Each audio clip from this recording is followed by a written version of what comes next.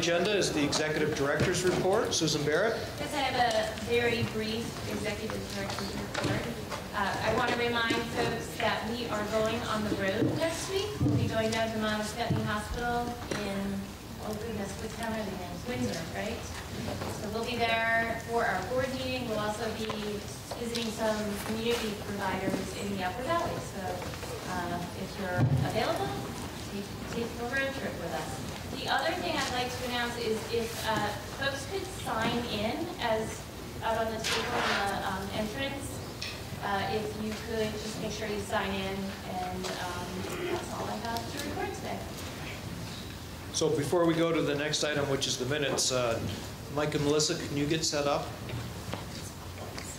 So uh, the next item is, are the minutes of October 17th. Is there a motion? So moved. It's been moved and seconded to approve the minutes of Wednesday, October 17th, without any additions, deletions, or corrections. Is there any discussion? Seeing none, all in favor signify by saying aye. Aye. Any opposed? Okay, moving right along. Um, Going to turn it over to uh, Mike and Melissa to give us an intro into the um, One Care Vermont uh, budget uh, presentation that we're about to uh, participate in. Okay, thank you. For the record, my name is Michael Barber, Chief of Health Policy at the Green Mountain Care Board, and to my right is Melissa Miles, Health Policy Project Director for the board. And um, so we're just going to do a, a fairly brief introduction to uh, to the hearing uh, on One Care Vermont's fiscal year 2019 budget. Um, So this is the schedule for this afternoon. We're going to try and keep our introductory remarks to uh, less than 15 minutes. One Care will have an hour for their presentation.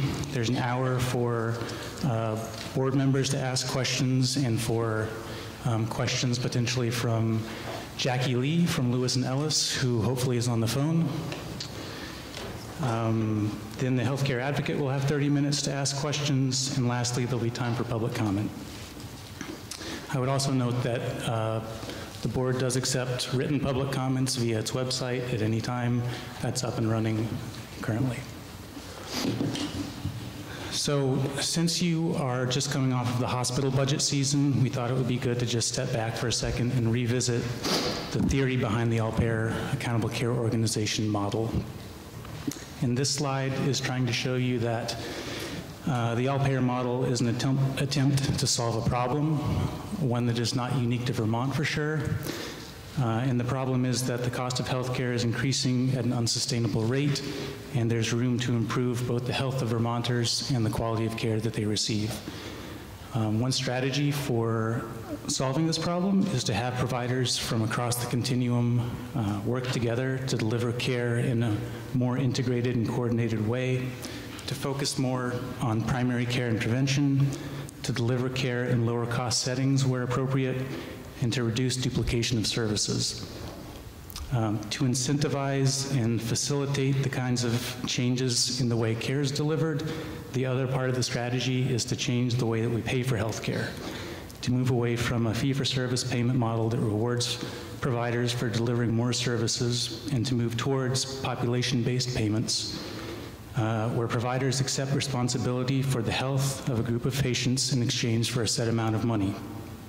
The hypothesis is this will be a more predictable and sustainable financial model for payers and providers, will spur providers to work together in new ways, and will give providers flexibility to make choices and investments that make sense for their patients, but that might not have made sense, uh, financial sense at least, in a fee-for-service world. The state chose to implement this strategy through a statewide accountable care organization model in which the majority of Vermonters are served under ACO programs that are aligned with one another so that providers have clear and consistent incentives. Under this model, ACOs are supposed to be the vehicle for change. They're supposed to help providers succeed in managing this transformation by providing support, data, analytics, and sometimes by shifting money to areas that need it most.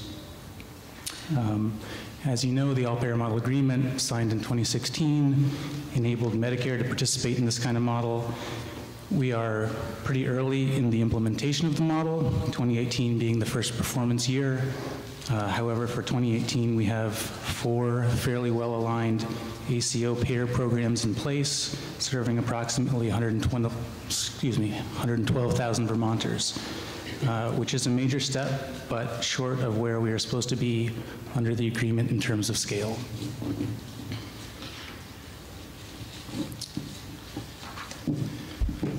Um, This graphic is, is meant to build on the last slide and just illustrate that the payment reforms really reinforce and enable the transformations in care delivery, with the ultimate goal being uh, to achieve improvements in health and slower cost growth. A key concept here is that when you put providers at risk for the cost and quality of care delivered to patients, it will spur increased investments in and focus on primary care and prevention, since there's a consensus that strong primary care foundation with uh, an enhanced focus on preventive services can improve healthcare quality, improve the health of the population, and keep costs down. The last column here um, describes the three population health goals that are found in the all-payer model agreement, and these are the, um, again, population-level outcomes that Vermont is trying to positively impact through the model. And this slide is to very briefly remind you of what Vermont is responsible for under the all-payer model agreement, because um, you can and should consider uh, relevant requirements of the all-payer model agreement when you're reviewing and approving an ACO's budget. The requirements in the agreement generally relate to cost, cost growth, rather, uh, alignment of programs, scale, and quality. With respect to cost, the state is responsible for limiting all payer cost growth to below a compound annual growth rate of 3.5% over the five-year term of the agreement. It is also responsible for limiting um, Medicare cost growth to uh, given, 0.2% below national projections based on what happened last year.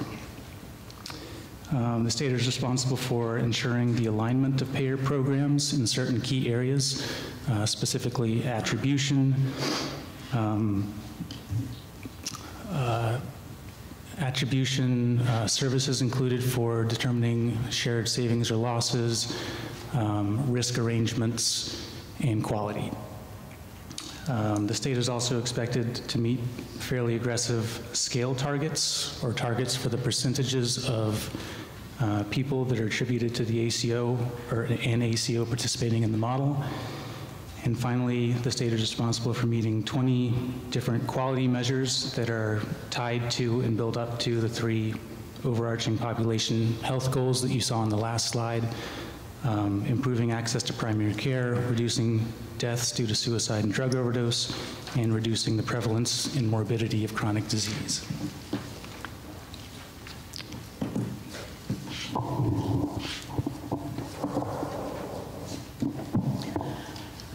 This slide shows the regulatory levers you have in which to operate uh, at the level of the ACO. Obviously, you have responsibility for reviewing ACO budgets and payer programs. You also have the ACO certification responsibility, which all fell under Act 113. Um, We did certify OneCare earlier this year, and we've asked them to provide us documents so that we can review their continued eligibility for certification. We are in the process of reviewing those, but that is not the subject of today's conversation. So finally, you have the ability to work with Medicare on designing an ACO program for 2019 and to uh, um, establish the benchmark or financial targets for the ACO in that program. So we made some decisions on the design of the Medicare program earlier this year, and there will be a few more decisions that we'll be coming back to you with in, a, in the coming weeks. So the Medicare benchmark and Medicare rate are intertwined with the ACO budget process, and I imagine OneCare will touch on the Medicare rate in their presentation today.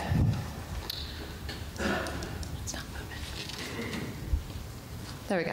It wasn't moving.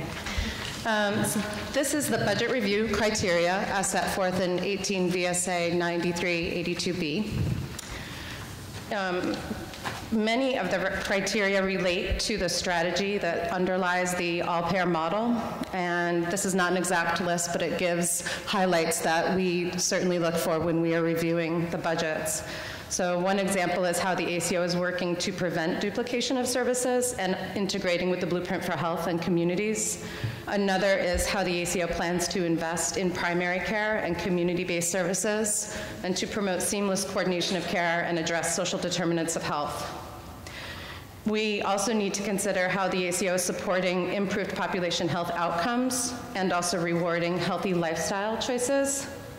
And finally, while these are the statutory criteria, as Mike mentioned a few slides back under the rule, you should also consider any relevant requirements of the all-payer model agreement.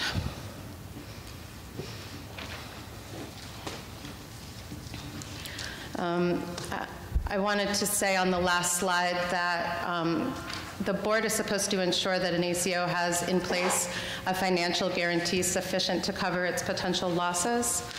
This is actually a requirement of certification, but it's something that we are looking at at the, during the budget process. Um, The way that this is done under Rule 5 is that an ACO has to propose a maximum amount of risk that it wants to accept in the upcoming year and has to provide the board with a plan for how to manage that risk. Then the board then approves that ma- maximum risk amount as part of the ACO's budget. I wanted to highlight several of the ACO budget order items that the board ended up approving on December 21st in 2018. Hmm, Sorry, 2017. 2017 for the 2018 budget. Um, These are some of the items, and, but they are not limited to a maximum downside risk, uh, risk corridors that averaged um, about 4% among all the payers, a reserve requirement of 2.2 million, an administrative expense ratio that did not exceed 2%, population health investments that did not go below 3% of their total budget, and uh, that was an estimated 25 million at the beginning of last year, subject to change. The Medicare rate of growth was 3.5 for 2018. Um, We also looked at all of the scale target ACO initiatives that they had among the four payers by which they're contracting with this year. So finally, this is the timeline that we have been working under. Um, We've been reviewing since October 1st, One Care's budget. Uh, Today is our hearing, and we are hoping to be able to adhere to this timeline, but as you'll see, we do have um, potential votes for November 28th and December 3rd. Uh, We are waiting from, for some information that has not been finalized at this time from um, both Medicaid for Lewis and Ellis to be able to complete the Medicaid advisory rate case that is in statute. And um, there are some unknowns still that OneCare may speak to also in terms of their self-funded programs for 19 and the commercial QHP program. So we're doing our best to work within this time frame, but we may need to come back to you with an adjustment. And that's it. Any questions for Mike or Melissa? Um, Just on the timeline, uh, my recollection is that um, the, the relevant, really legal document that would impact any timing issues would be requirements on, around the Medicare rate, but am I forgetting anything? Or do we have some flexibility there? Uh, You remember, you remember correctly, so the all-payer ACO model agreement requires that we submit a rate to CMS uh, 30 days prior to the beginning of the performance year, so that would put us at the end of November. We would like to meet that, but we do have some flexibility if we need it. Thank you. And last year, we waited an extra two weeks for the information, correct? That's correct. This year, we will be getting the Medicare um, final information by, I believe, November 9th, so that shouldn't be an issue this year. I think Medicare is on track to give us what we need. Um, We are behind where we thought we would be in terms of getting information from DVHA for the Medicaid rate case, and uh, there's a lot of other uncertainty in the budget that may um, lead us to try and push this back a little bit. Okay. Great. Any other questions? Okay, thank you very much. Todd and Wood Care team, if you could come down. And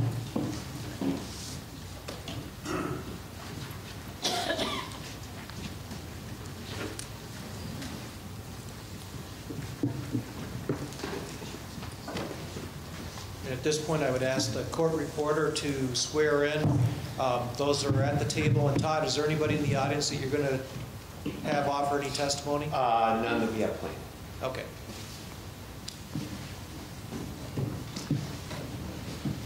Would you all raise your right hands, please? Do you swear the testimony you're about to give will be the truth, the whole truth, and nothing but the truth? Yes. Yes. All right, thank you. I do want to introduce, uh, Kevin Stone is here, who is the uh, chair of the One Care Board and made the trip up uh, to be in the audience, so thank you for being here, Kevin. Um, I I just want to, as ways introduction, uh, say that I'm Todd Moore, CEO of One Care Vermont, uh, and I'm here with uh, team members Tom Borys, Director of Finance, Sarah Barry, Director of uh, Clinical and Quality, and Karen Lee, our Vice President of Finance. Be the four of us that will be uh, doing the presentation uh, for you today. A lot of it will be Tom and Sarah doing the bulk of the presentation slides, with Karen and I offering more commentary at certain points and and in response to questions. Uh, I do want to uh, just put a couple things in context before we get, uh, get going, which is, um, we're still early in this all-payer model. Um, and it continues to be, you know, quite a worthwhile but complex journey to understand how this should work and, and will work. And, you know, the all-payer model agreement doesn't answer all the questions that get into the details of our budgets and programs or, or even your regulatory standing uh, over it. But I, I do want to thank uh, Michael and Melissa, uh, as well as Susan and, you know, the rest of the Green Mountain Care Board staff for really being in the trenches with us, trying to figure this out um, uh, and work our way through uh, how this model should work and, and is supposed to work. So I would envision today as it really is a dialogue, and there may be some things that we need to put in a parking lot for more discussion between us and your staff or with the board. Uh, We're going to do our best to sort of explain the way we were thinking about uh, how next year ought to work and uh, uh, in our budget with your uh, regulatory uh, levers and review criteria in mind. Um, You know, certainly, we're here to answer any questions that, that you have as we move through this. The other part of, of the introduction is that, you know, a budget is just a plan. Um, and, you know, I urge you to, you know, view this budget the way you might en- envision a hospital budget, uh, that there's certain parameters that you need to have. You need to understand what our plan is. Uh, You do need to ask us to come back uh, next year, during the year, to say how are we doing against the plan and are we implementing it as, as we said we would. But a lot of this is very dynamic, and we don't know until after, you know, the new year who's really the attributed lives and what some of the actuarial models end up being for the actual accountability that we have. Uh, And that's just part of what happens here. Uh, And certainly, in that OneCare holds different contracts with, directly with Medicare, but with a lot of standing by the board to set those parameters, but also a completely independent contract with Medicaid and with commercial carriers. Uh, You know, that this regulated but yet individual contracts held by OneCare uh, with the different payers and programs, you know, is part of what we're all trying to figure out is h- how do we, you know, build in the appropriate flexibility uh, uh, within a budget um, uh, to anticipate the fact that things do change. So I really appreciate the board's flexibility uh, and and respect last year in- in getting to a point that we could get this thing launched, uh, and I would hope that we'd have a similar, similar approach heading in uh, to this, to this cycle. So with that introduction, I think we're ready to get into the PowerPoint. Okay, um, last year, I gave you a checkbox list of, you know, what was in the budget as, as the big headlines. I'm going to do that again this year. Uh, I think we've got a great story for more progress in all-payer model uh, in, in terms of an expanded provider network, uh, expanded payers, uh, expanded attribution, uh, and, you know, really fulfilling uh, in our plan what an all-payer model ought to be, which is including populations for Medicare, Medicaid, employer-based plans, and, and insured plans on our qualified health plan exchange. You know, we are continuing down the pathway of expanding hospital payment reform of the kind that we've set precedent for, and, and often, you know, I think that story gets missed of, of, you know, we're doing the most advanced hospital payment reform, real payment reform uh, in the country uh, with the fixed prospective payment for Medicare and Medicaid. Uh, Continued physician community uh, investment and payment reform. Uh, We're building, we're maintaining and even building on uh, the great models that we've got in place now, and you're going to hear uh, a lot about that story here today. And advancing population health management. You'll hear from, from Sarah Barry, you know, how we continue to fulfill the promise of having a plan for every patient as part of this. Yeah, that's in an effort to do well under the economic model, but it's really the right thing to do to have a more coordinated system and a more proactive system that keeps people healthy uh, rather than uh, only treat them when they're sick. So you're going to hear about all these things uh, here over the next hour from, uh, from my team. Um, I did include a slide that I've used a couple of times in uh, other presentations for those to, to explain what's in a ACO budget uh, in Vermont under an all-payer model and with the Green Mountain Care Board oversight.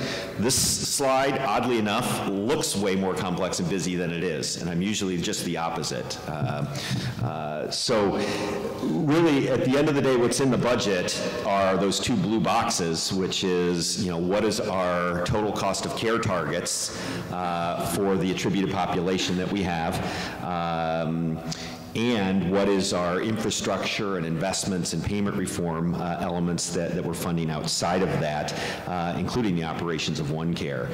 And what you're going to hear from, from Tom uh, is uh, $851 million for our- projected uh, spend for the attributed lives next year um, across all payer programs. Uh, $53 million in payment reform, community investment, uh, and infrastructure to support the model. Uh, You're going to hear about out of the 53 million uh, of that investment, that it's about 29 million coming from hospitals, uh, and 26 million coming from payers in the state of Vermont through a variety of of methods. Uh, And that is one question I often get asked. Um, And those monies fund the things that are down in the lower right, which is, you know, some of the great things that maintain the blueprint payments, uh, support community health teams, uh, uh, do, you know, real payment reform uh, uh, for physicians, uh, bring in community-based organizations and designated agencies, and, and support communities and and innovations, uh, uh, and all the infrastructure to, uh, to administer it. So Todd, on Yep. that, um, you're saying that of the 53 million, you've got 29 and 26, which adds up to 55. What am I missing?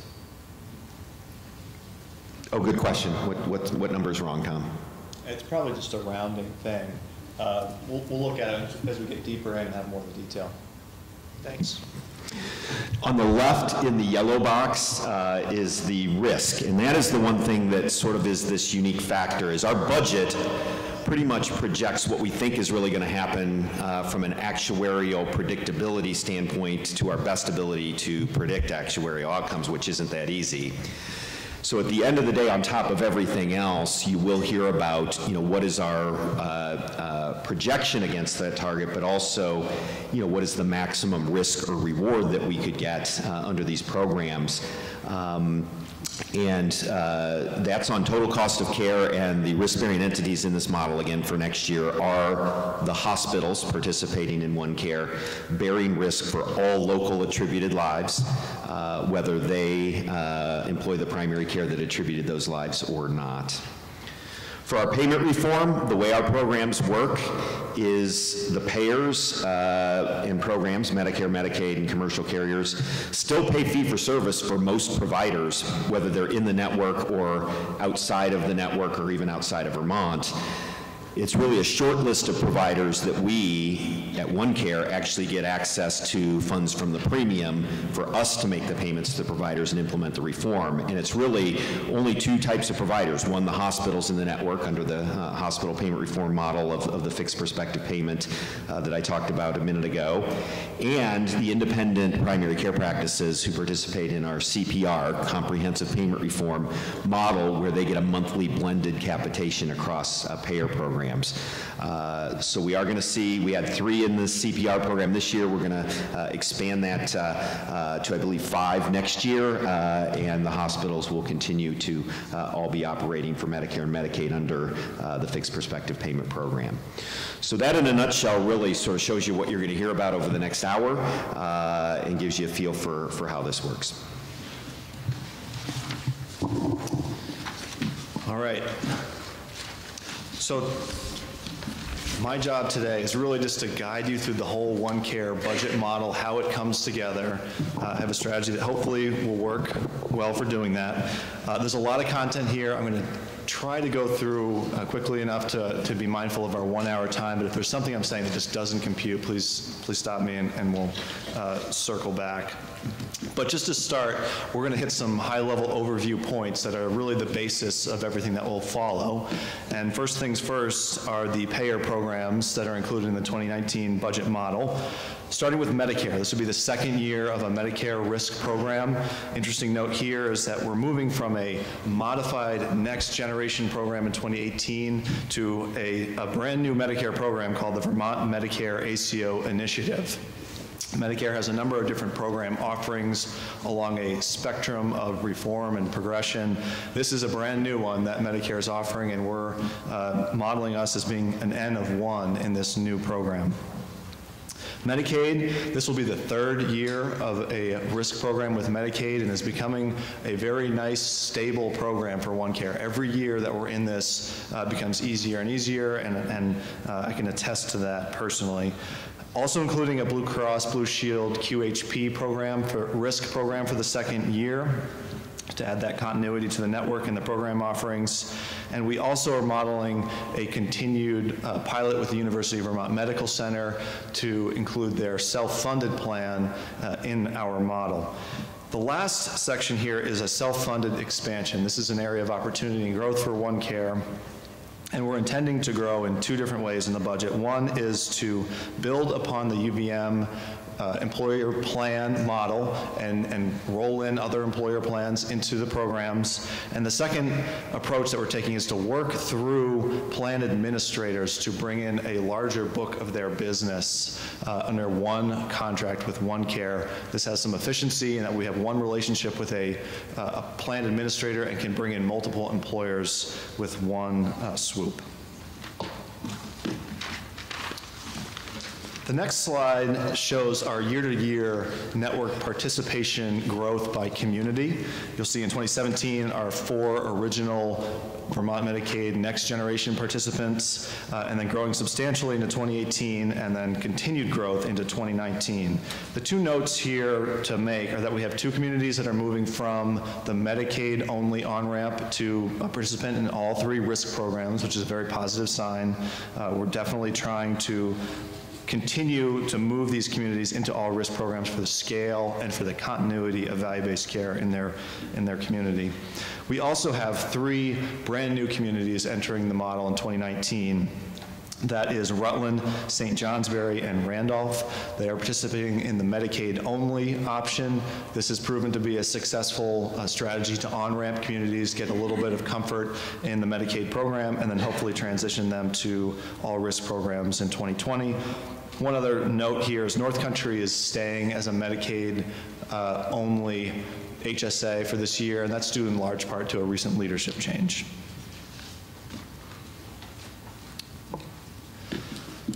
I like this slide to really just show visually the different provider types that make up our network. We speak a lot about the hospitals, but there's really a wide array of providers that participate in our uh, programs. The first three categories, the hospitals, FQHC, and independent primary care, is really where our attribution comes from, but you can also see from all the remaining columns that there's a number of other provider types that don't specifically attribute to the model, but are integral to our health systems and important to keep in our model.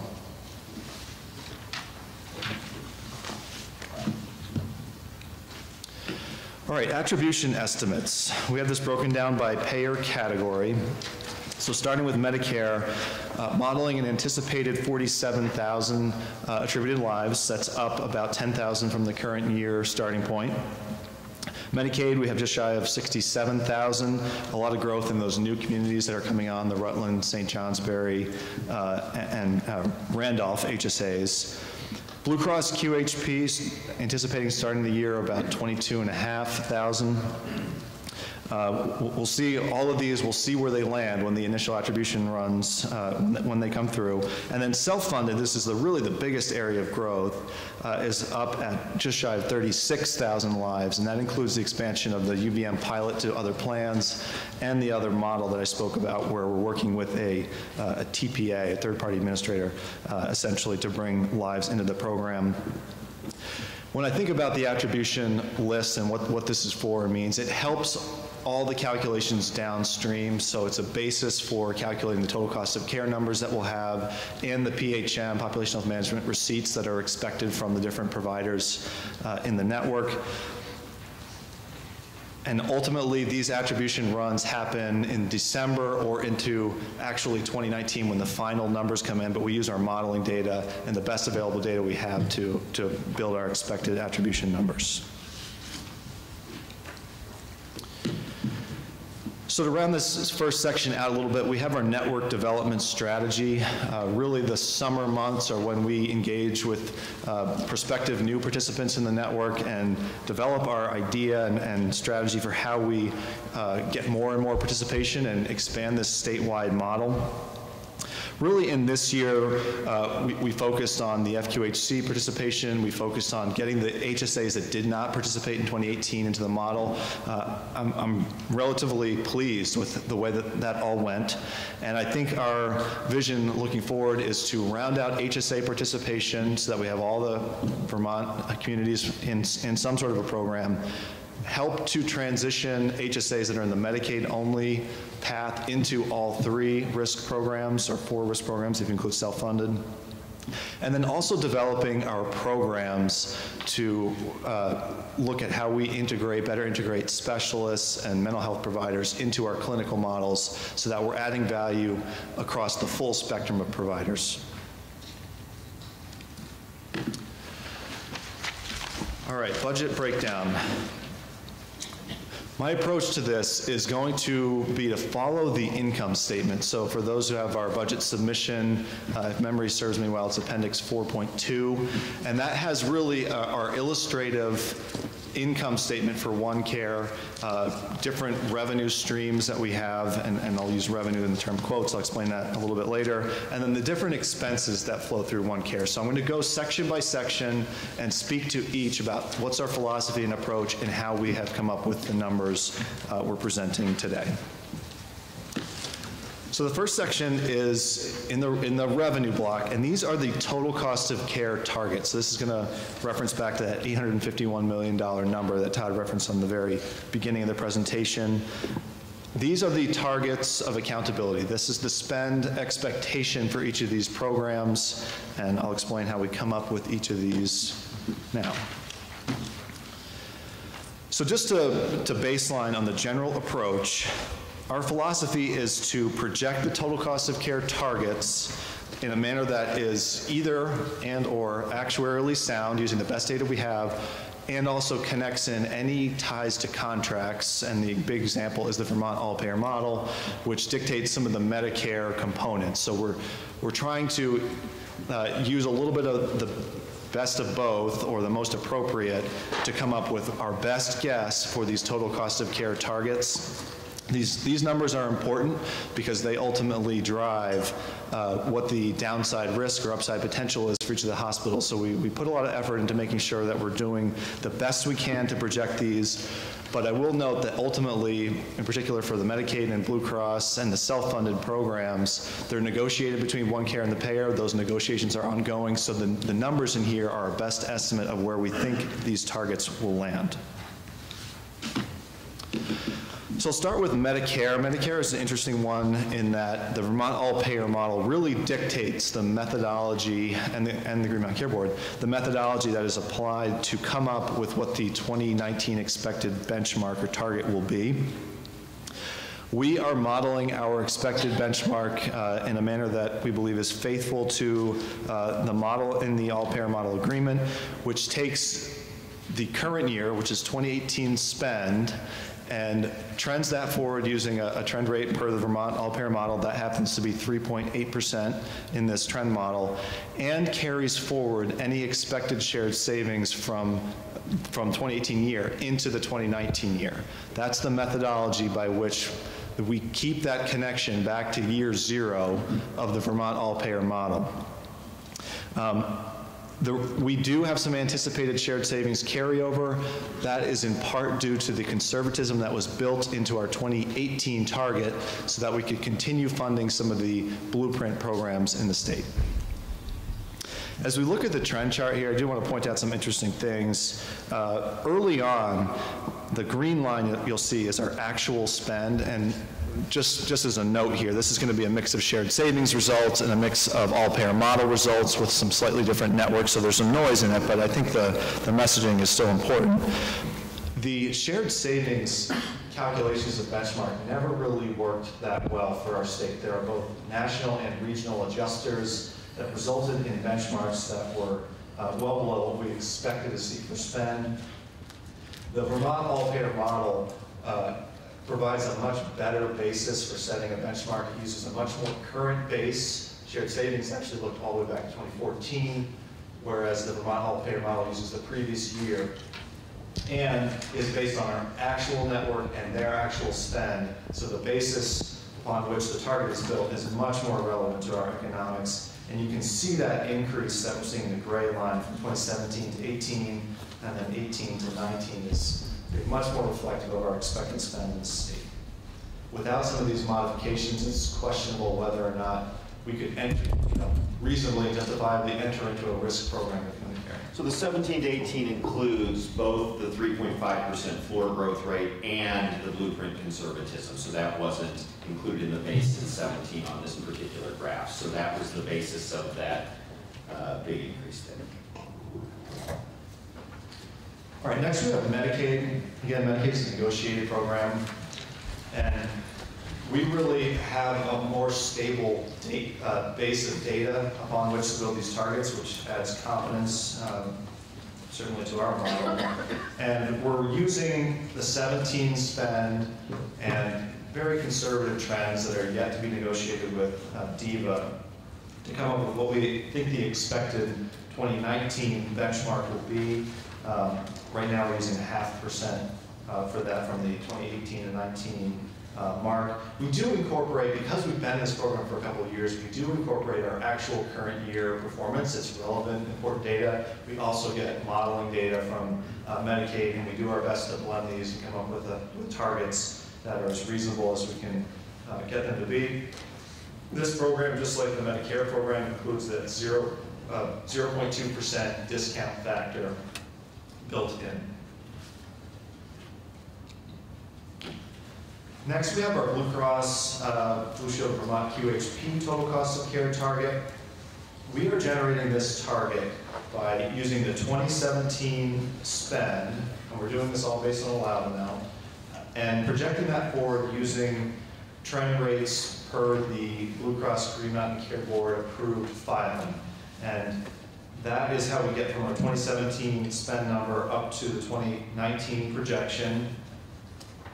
Uh, We're in negotiations with Blue Cross to really finalize both the methodology and what the, the real number will be. Uh, This right here represents our best estimate of a fair approach to get to a 19 benchmark and ultimately will be determined in collaboration with Blue Cross. Just to go into the Blue Cross trend rate a little bit deeper, as it's, it's an interesting one and a little bit more nuanced perhaps than some of the others, is we build the trend off of the Green Mountain Care Board approved rate filings, but really are zeroing in on the factors that affect claims cost. And some of the factors that affect premiums don't necessarily translate directly down to the expected claim spend. So we try to zero in the best we can on the factors that really would affect the fee-for-service equivalent value uh, of the care for our attributed lives. Uh, One, one factor that we do have built in here is a 2.3% adjustment for the AHP Association Health Plan transition that came up in the negotiation, or the trend rate filing with Blue Cross. Uh, We deem it to be reasonable and that type of migration of healthier patients from the QHP market to an association health plan market can increase the costs on a PMPM basis. And these are the type of factors that we're looking at when determining what's a fair benchmark for the ACO. We're excluding any factors in the trend rate filing that are related to non-claims components such as administrative costs or building of reserves for Blue Cross or- or any other uh, Blue Cross uh, tax or fee impact adjustments. Next, we have our self-funded total cost of care. Data are limited for this programming. We're building this model largely based on the current self-funded model that we have, but we will be hopefully bringing in new plans and also a plan with a, uh, a third-party administrator that will affect these, but just to put in a, a placeholder of what the expected spend might be, showing some trends here. Uh, Really, there's a lot of opportunity in terms of scale to grab more and more uh, self-funded, so it's an area we focus on a lot and, and want to continue to work on it uh, more and find more employer plans and more uh, plan administrators who want to participate with us in these models.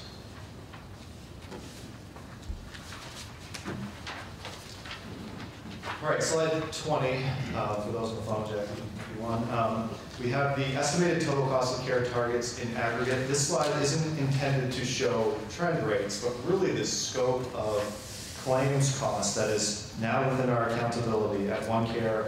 We're moving from a projected total cost of care, and I say projection because it is based on attribution and attrition that we may experience.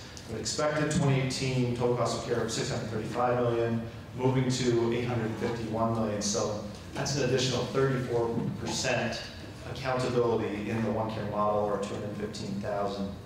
So it's a substantial increase, uh, certainly in my view, uh, to, to the the spend for contributing lives that is now in a value-based program.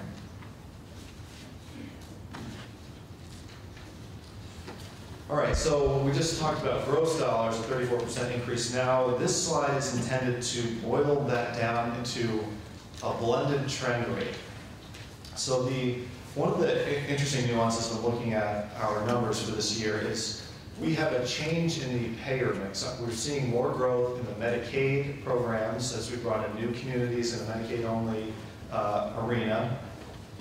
And Medicaid happens to have the lowest PMPM, so on a, on a pure total dollars uh, standpoint, on a PMPM basis, our blended rate actually went down.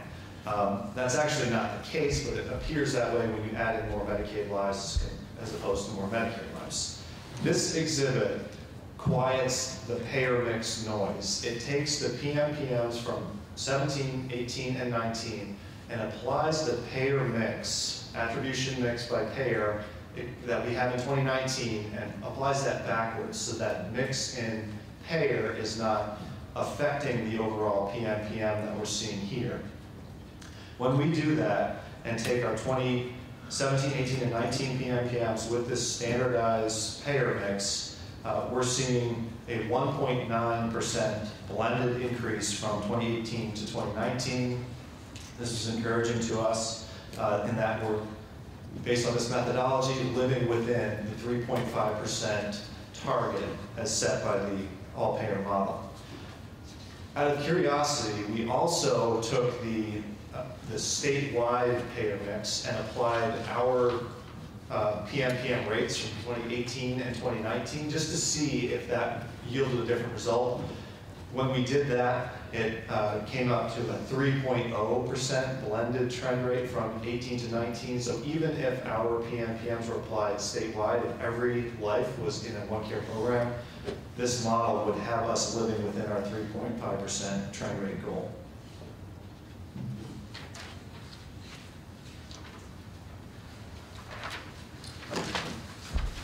All right. Next section of the budget will speak about the other revenues that OneCare has. So the total cost of care targets are really our benchmarks. These other revenues are what help us sustain operations at OneCare. So this is that next section of the income statement. So really three different buckets of uh, revenue sources. We have our payer partners who contribute, we have the state of Vermont who contributes as well, and then the hospitals. The payer partners contribute in the form of PMPMs. So for every attributed life, there's a, a cash inflow to the OneCare network that helps us fund our population health management programming and operations in, in some cases. The state of Vermont supplies funding uh, for the Advanced Care Coordination Program, the HF Health Information Technology Informatics Platform, and primary prevention programs. And then lastly, uh, certainly not leastly, is the hospitals whose participation fees round out the revenue needed by OneCare to really uh, facilitate these programs and the reforms.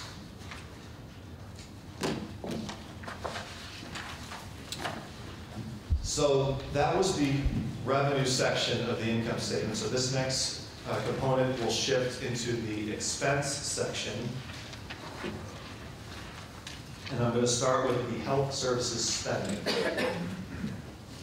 So before, we were projecting what are the total cost of care targets or benchmarks going to be. Now we're trying to project what's the spend going to be. In some cases, those are the same. For the, for the Blue Cross and uh, Medicaid and self-funded, we're expecting whatever we negotiate with those payers to be our best guess of what the actual spending will be. Medicare is a little bit different, and that some of the uh, terms of the all-payer model mean that the target could be different than our expected spending. But our general approach in calculating the expected spend is really an HSA uh, model, where we take an HSA base year PMPM, and everything is built on a PMPM up. We apply the program trend rate, this is the trend that we, we expect to see this next year, to come up with the 2019 expected HSA PMPM. That is multiplied by attribution, expected attribution, and that's really the HSA total cost of care. We do this collectively for each HSA. This is important. It's important to do it this way because the, the base PMPM for each HSA is not the same. We have one global target, might be $250 per member per month for the total Medicaid program, but some HSAs are higher or lower depending on the risk of their population, social determinant factors, the efficiency of the care delivery. So we build it from that uh, HSA level up to come to a total cost of care.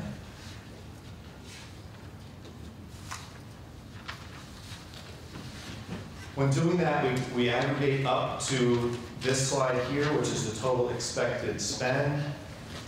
Uh, This, then we, we break that down to a combined PMPM for each payer program. So this is where the, the differences in each payer program's PMPM becomes quite evident.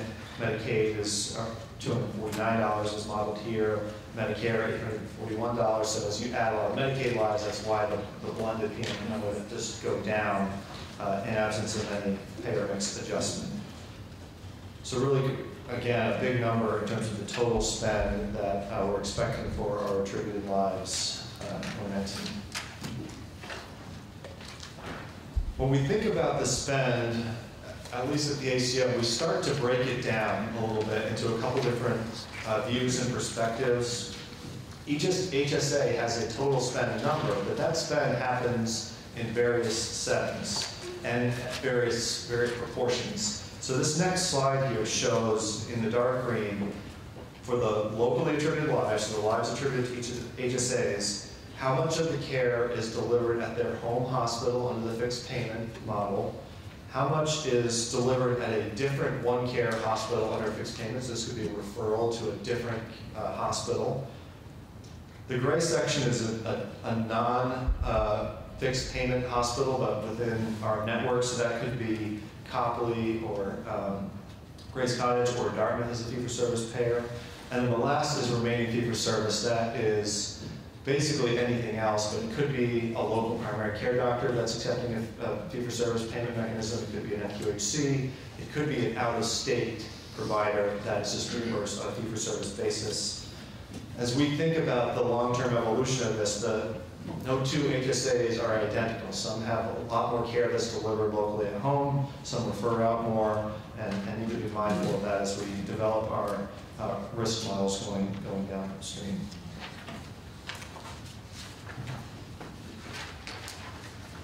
This next slide takes a slightly different view and really looks at hospital spending across our network on a PMPM basis. Uh, I I think it's an interesting way to start looking at some of the the hospital spend numbers. But we're taking the hospital spend and dividing it up by our total OneCare attribution to come up with just a relative uh, amount of hospital care that each of these providers are, are delivering. I think that this will be an interesting one to look at over time with some year-to-year trending to see are there any uh, movements in these PMPMs. And it also is broken down, uh, the top section here, into two different categories. One is for the, the hospital care that they deliver for their local lives. The green is for lives that are referred into their hospital from a different attributing community. The, the bottom graph here is a stacked bars that shows the proportion of spend related to their local lives versus those being referred in. There's some pretty interesting trends to this. I find that geography often affects this quite a bit. For example, SVMC, Southwestern Vermont Medical Center, down in Bennington, um, really doesn't refer to a lot of other Vermont hospitals very often, uh, just because of their, their geography and, and their uh, capacity down there in Bennington.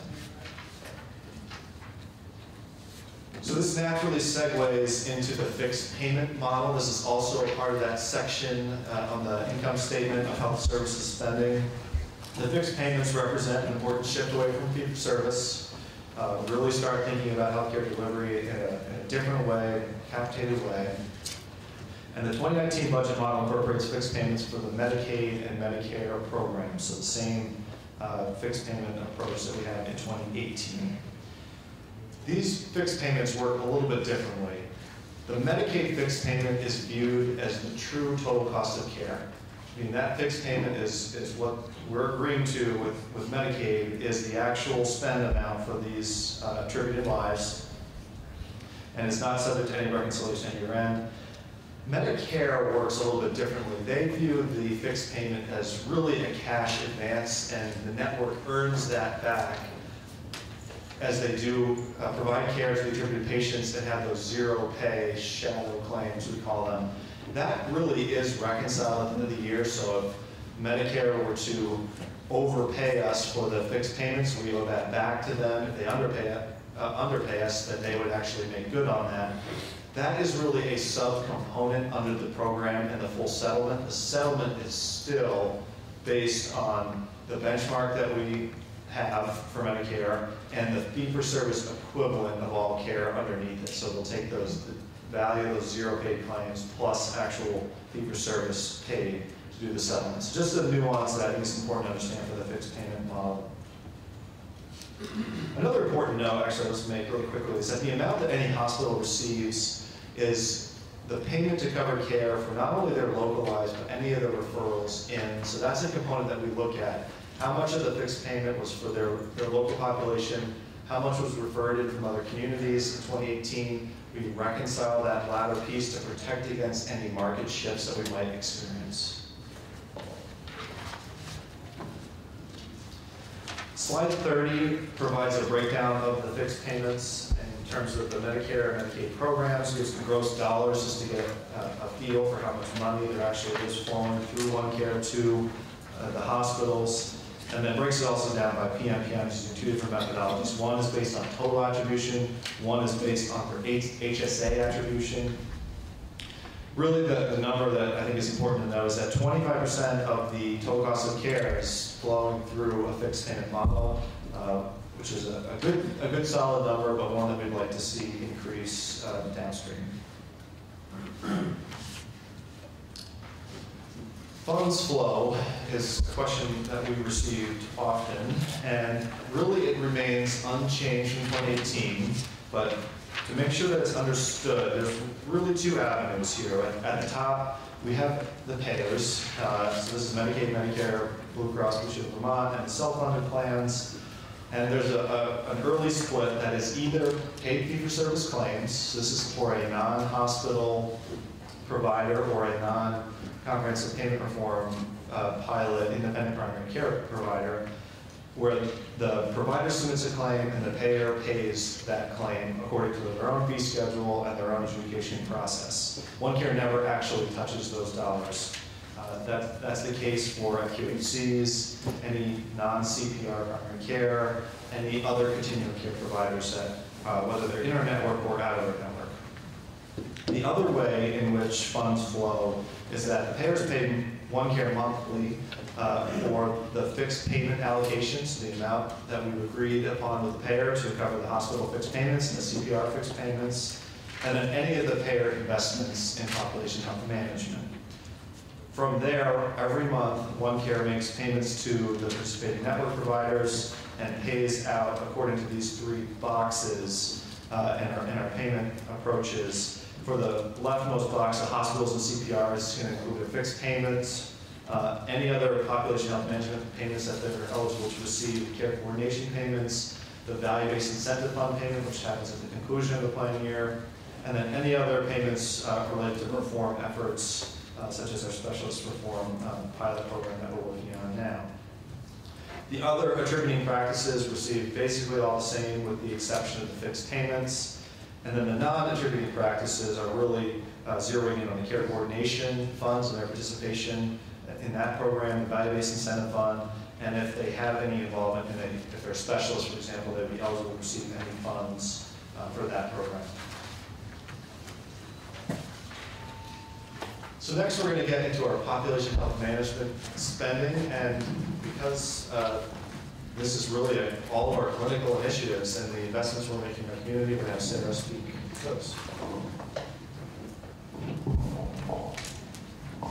Good afternoon. So I'm going to walk you through uh, the $37 million worth of investments that we're looking to make in our communities over the course of 2019 and describe some of the programs and their expansion as well as some new programs that we're looking to implement. So as we look to the programs that really were set in the foundational year with Medicaid in 2017, in 2018 we've been expanding those to our other payer programs as well. With our population health management uh, program, we are currently funding $3.25 per member per month into all of our primary care practices based on their attribution. What we've been revising and um, really updating in this program over the course of the summer months is to clarify the expectations uh, and the accountabilities associated with ongoing receipt of that funding. And so each of our practices over the course of the last three months has gone through an attestation process to um, make sure that we are all clear on the key criteria for these funds and how they're applied. And you can see in a synopsis level those criteria on the screen. They include making sure that you're using data effectively to evaluate the care that you're providing, um, having activities in place to address gaps in care, working on uh, the accuracy of the coding to make sure that we understand the risk profiles of the population panels that you're caring for, as well as maintaining and continuing to advance the team-based care concepts that the Blueprint has done so much to put in place over the last decade. In the second investment, uh, we are continuing to expand our complex care coordination program. In 2019, we're anticipating this to be in the range of $9 million. The entirety of that funding comes through OneCare and is sent out into our network to support our person-centered, community-based approach to care coordination. One of the new things that we're anticipating being able to support in our care coordination program in 2019 is a partnership with the health department and some local parent-child centers in a program called DULCE, which is really looking at how we can address social determinants of health and early childhood development to create strength-based programs and really advance care for that um, potentially vulnerable time in a, a young child's life. In the third area, we have continued to expand our value-based incentive fund. So this was a pilot program in the Medicaid for communities in 2017 that has advanced into all of our payer programs in 2018. And we're anticipating not only continuing that in 2019, but we've also been working through a primary care work group to implement and test over the course of 2019 some variable models for how the funds would actually be allocated based on what is earned at the level of the ACO. And so we're looking forward to the opportunity to evaluate that and continue to refine it in 2019. Tom spoke just a, a moment ago about our comprehensive payment reform program. This program was a pilot in 2018 with three independent primary care organizations, and we're very excited that that is expanding on a voluntary basis to nine organizations over the course of 2019. As part of that, they are receiving uh, funding in a new and, and um, different way, something that they need to get used to, and they're also investing time and, and energy and resources and really thinking about how care can be provided in different and new ways. We've been obtaining tremendous feedback from providers and continuing to reform that program as we look toward 2019.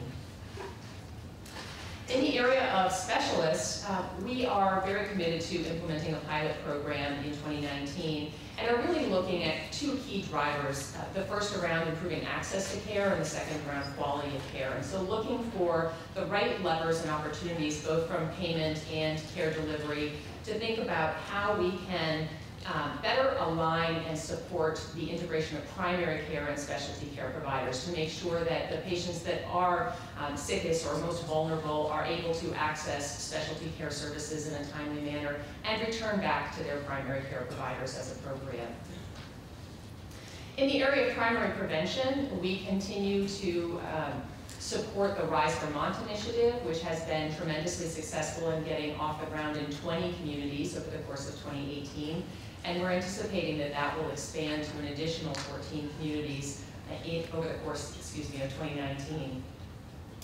That program has had uh, a tremendous local success in engaging program coordinators in at least six of the health service areas to be able to identify what the areas of opportunity are and address programs that with small funding and creativity and community engagement really can make a difference in promoting health and well-being.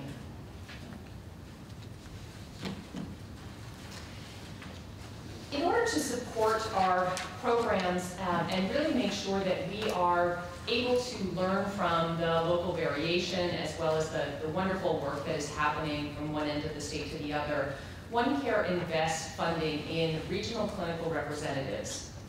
These are individuals that uh, provide really peer-to-peer -peer coaching. They serve as local champions for the work that's happening. Uh, they share data and information from OneCare centrally into their community as well as bring uh, information back about successes and lessons learned. And so all of those regional clinical representatives also serve on our clinical and quality advisory committee, providing that bi-directional communication that we're finding to be so effective. One of the brand new areas that I'm particularly excited about uh, for 2019 is an innovation fund. And OneCare is looking to invest a million dollars in 2019 in local communities to be able to test and evaluate innovative projects that have the potential from day one to be scalable uh, to other communities and statewide. And so this is a program that we anticipate running through our Population Health Strategy Committee, which is a, a quite a diverse group of uh, providers, continuum of care representatives, and um, individuals that are very much dedicated to helping make sure that OneCare is able to advance its mission towards accomplishing the triple aim.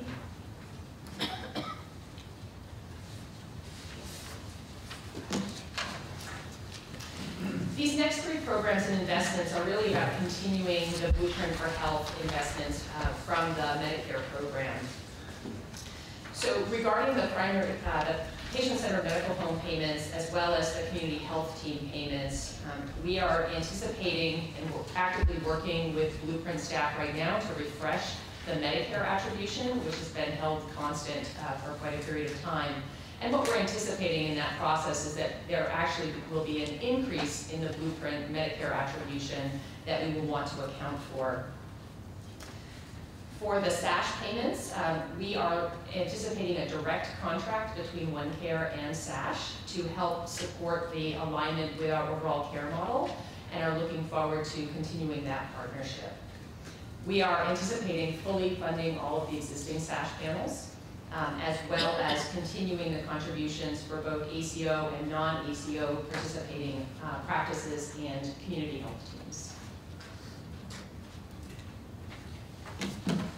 All right, so next we're onto the operating costs, which is the last section of the income statement for OneCare.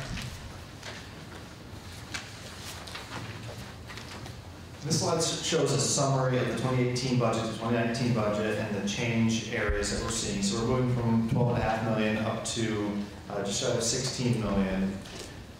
Bigger changes happen in the staffing area, and I'll speak to those in a minute. Contracted services going up, and actually, just to back up one, one step further, one of the reasons we're experiencing some operating cost increases is that Rise Vermont is really on-ramping into One Care operations. Last year, it was viewed as a population health investment, and all of their costs were in that PHM category.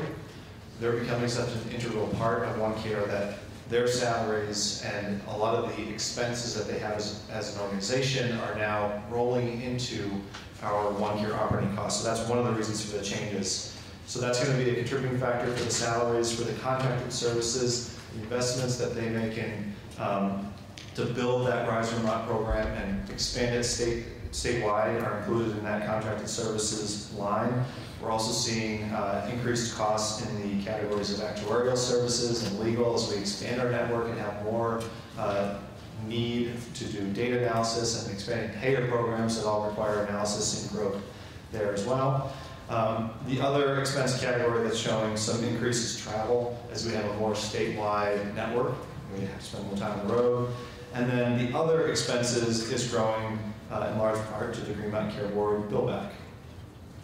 On the staffing changes, uh, really is kind of a widespread, small incremental growth approach. Uh, We did put a lot of time and energy into looking at the staffing model we had, reacting to the needs of the network, and making sure we had the right uh, people uh, in the right positions to meet the needs of our network.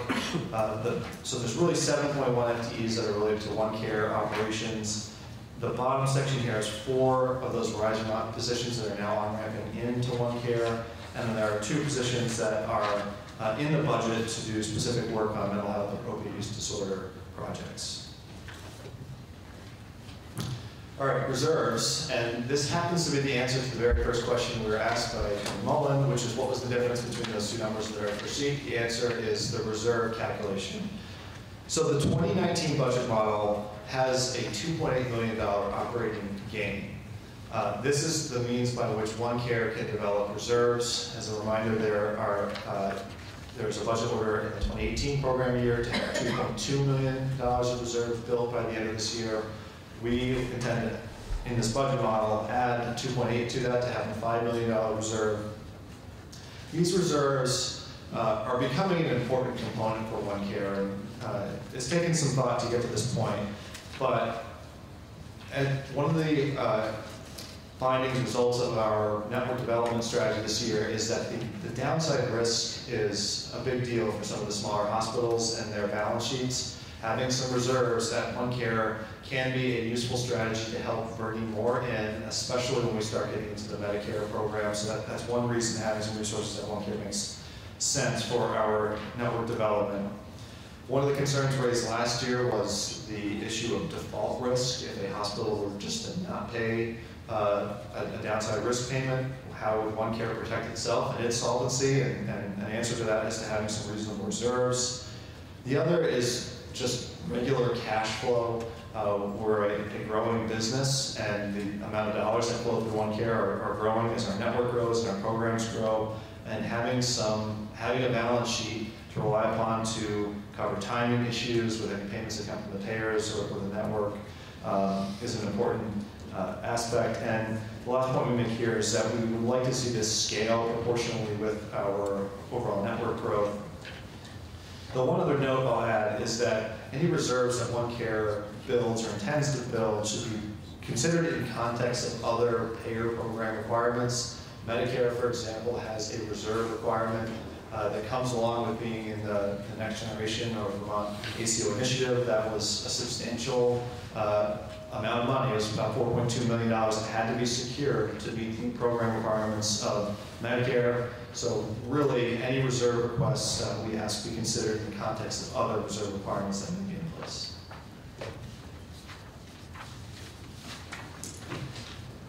All right, next I want to talk about what this really means for the network and their commitment to this accountable care, value-based care approach.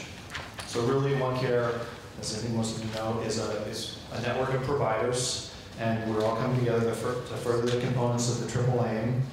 Um, This really is a a big task that takes both clinical and financial reforms working together to achieve these results. I think that if we just were to do financial reform and have no clinical investment, uh, we probably wouldn't achieve great results. And in many cases, the clinical reforms can't take place without changes to the financial incentives that are put in place in the financial model. So it's a very connected um, model. To do this, to pull this off, takes really two things. One is accepting downside risk, which is the financial reform that flips the incentive structure so that a well population uh, doesn't damage the delivery system.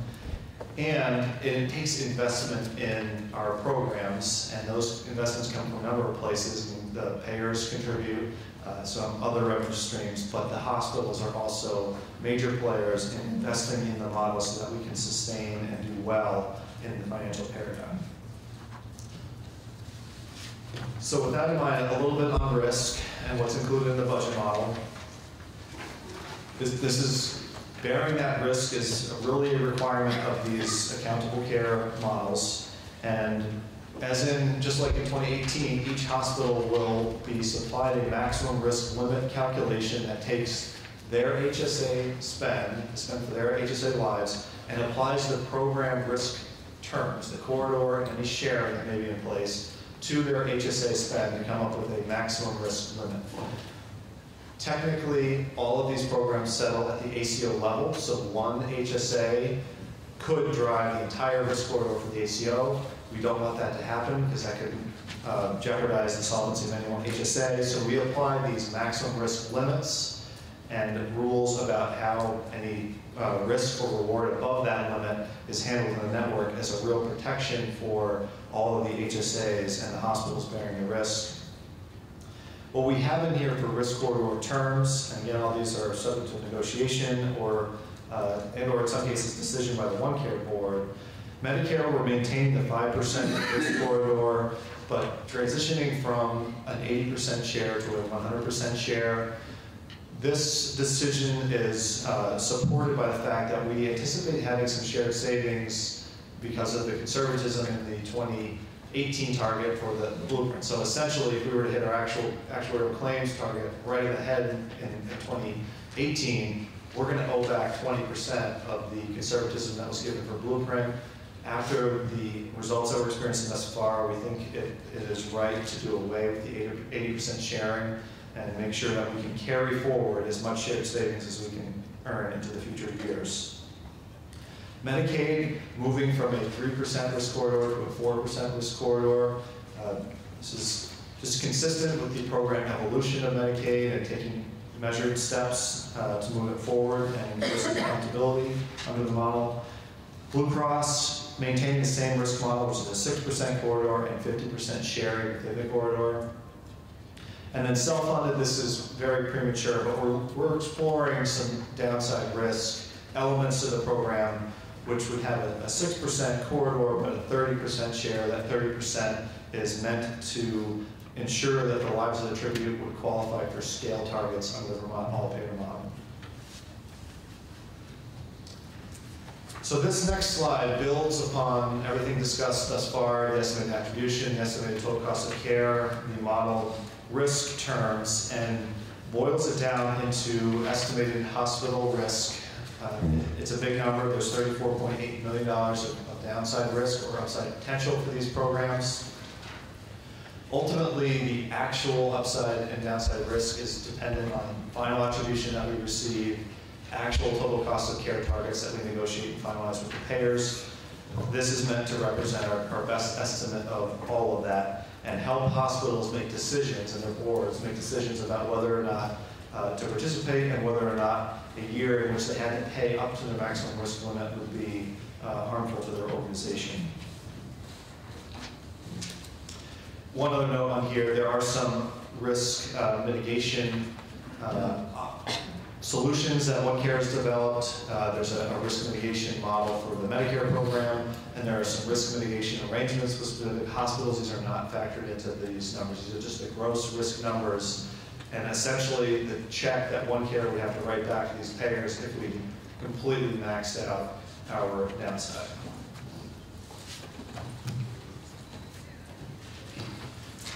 All right, so next we have our hospital participation costs. Um, These are really the, the amount here, this 29 million is the amount that we need from the hospitals to fulfill the one care budget model here.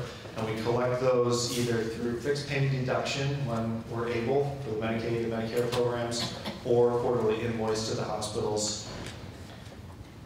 Um, I really want to break thi- this number down into a couple of different components. We have a gross deduction amount of 29 million. That's the amount that the hospitals are are paying in uh, on monthly or quarterly installments to OneCare.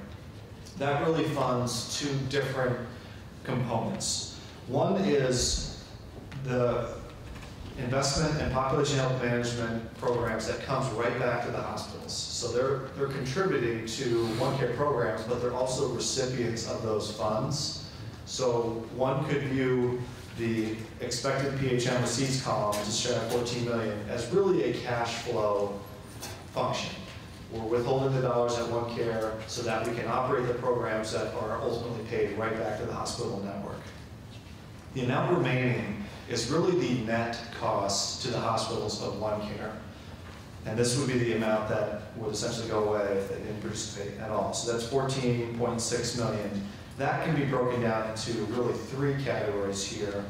One is community investment. So th- these are investments where the hospitals are paying into Health fund OneCare initiatives. And payments are being made to other community providers, designated agencies, independent primary care, QHCs, et cetera, and really investing in population health for the other uh, community entities that are in our network. We also have that contribution to reserves number here, there's the 2.8 million I referenced before. And then the last is contribution to OneCare operations. Uh, The 7.8 million is really the amount that OneCare needs after factoring in all of the revenue streams that we can use to help fund our regular operating costs.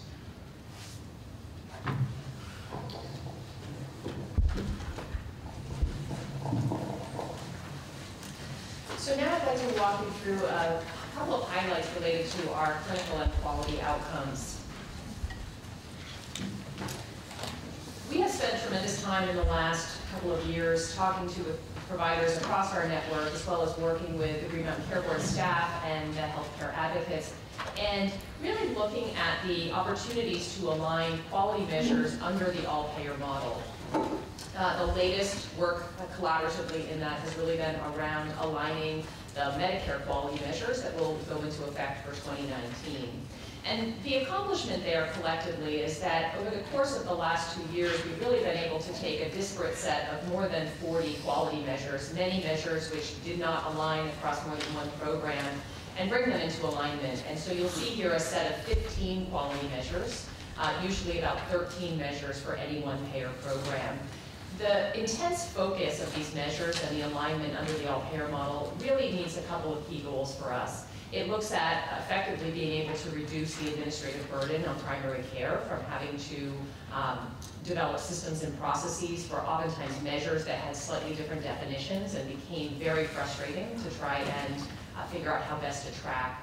But also, it's really looking at measures that are clinically important. They're important to the overall health and well-being of Vermonters. And our providers feel very strongly that these represent a diverse set of measures that really allow them to set targets and goals to strive forward towards. Looking at our 2017 quality measure performance, uh, results became available recently. In our Medicaid program, again, of the four pilot communities, we achieved an 85% quality score overall. This was using a, a brand new set of measures for us, and uh, one of the key determinations related to our um, ability to reinvest in quality is that our Population Health Strategy Committee and our Board of Managers approved uh, and worked collaboratively with DVHA on a reinvestment strategy for the component of the value-based incentive fund that was not successfully earned. So this was the 15% uh, that we did not achieve by uh, the quality score that we obtained. And so the plan that we have in place now and will be operationalizing over the next few weeks is to be able to send those funds out into the local communities in those four health service areas through the function of their community collaborative, also known as their accountable community for health, with some guidelines from OneCare about areas of opportunity that align with gaps in care. And then for us to work with them around how to design specific programs and projects to address those gaps in care over the course of the next year. Within our Blue Cross Blue Shield program in 2017, this was a shared savings program, and you can see that we were able to uh, achieve 73% as our quality score and really maintain the overall quality across most measures. For Medicare, we achieved an 88% quality score, and one of the things that really was uh, changing for us in that shared savings program year is that six different quality measures that had been reporting measures became payment measures. And that did have an impact on our overall quality score, as well as the quality scores for other ACOs around the country.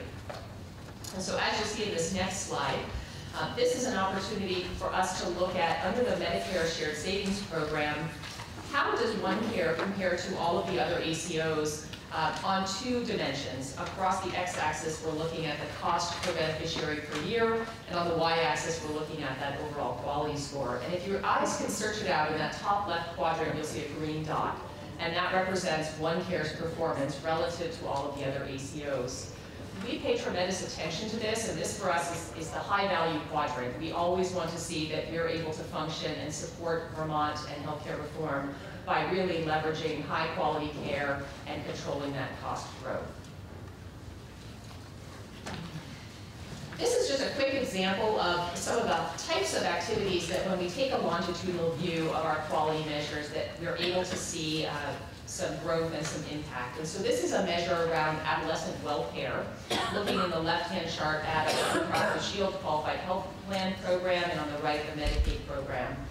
The very colored uh, lines are really showing you the benchmarks by year, and the bars are showing what our actual quality performance is. And so you can see we're making incremental and, and steady progress, the most dramatic of which has really been in the last year in the Medicaid program, as we were able to um, really advance towards that 75th percentile. It's interesting to note that this quality measure nationally has stagnated for a long time. It's a very hard measure to move.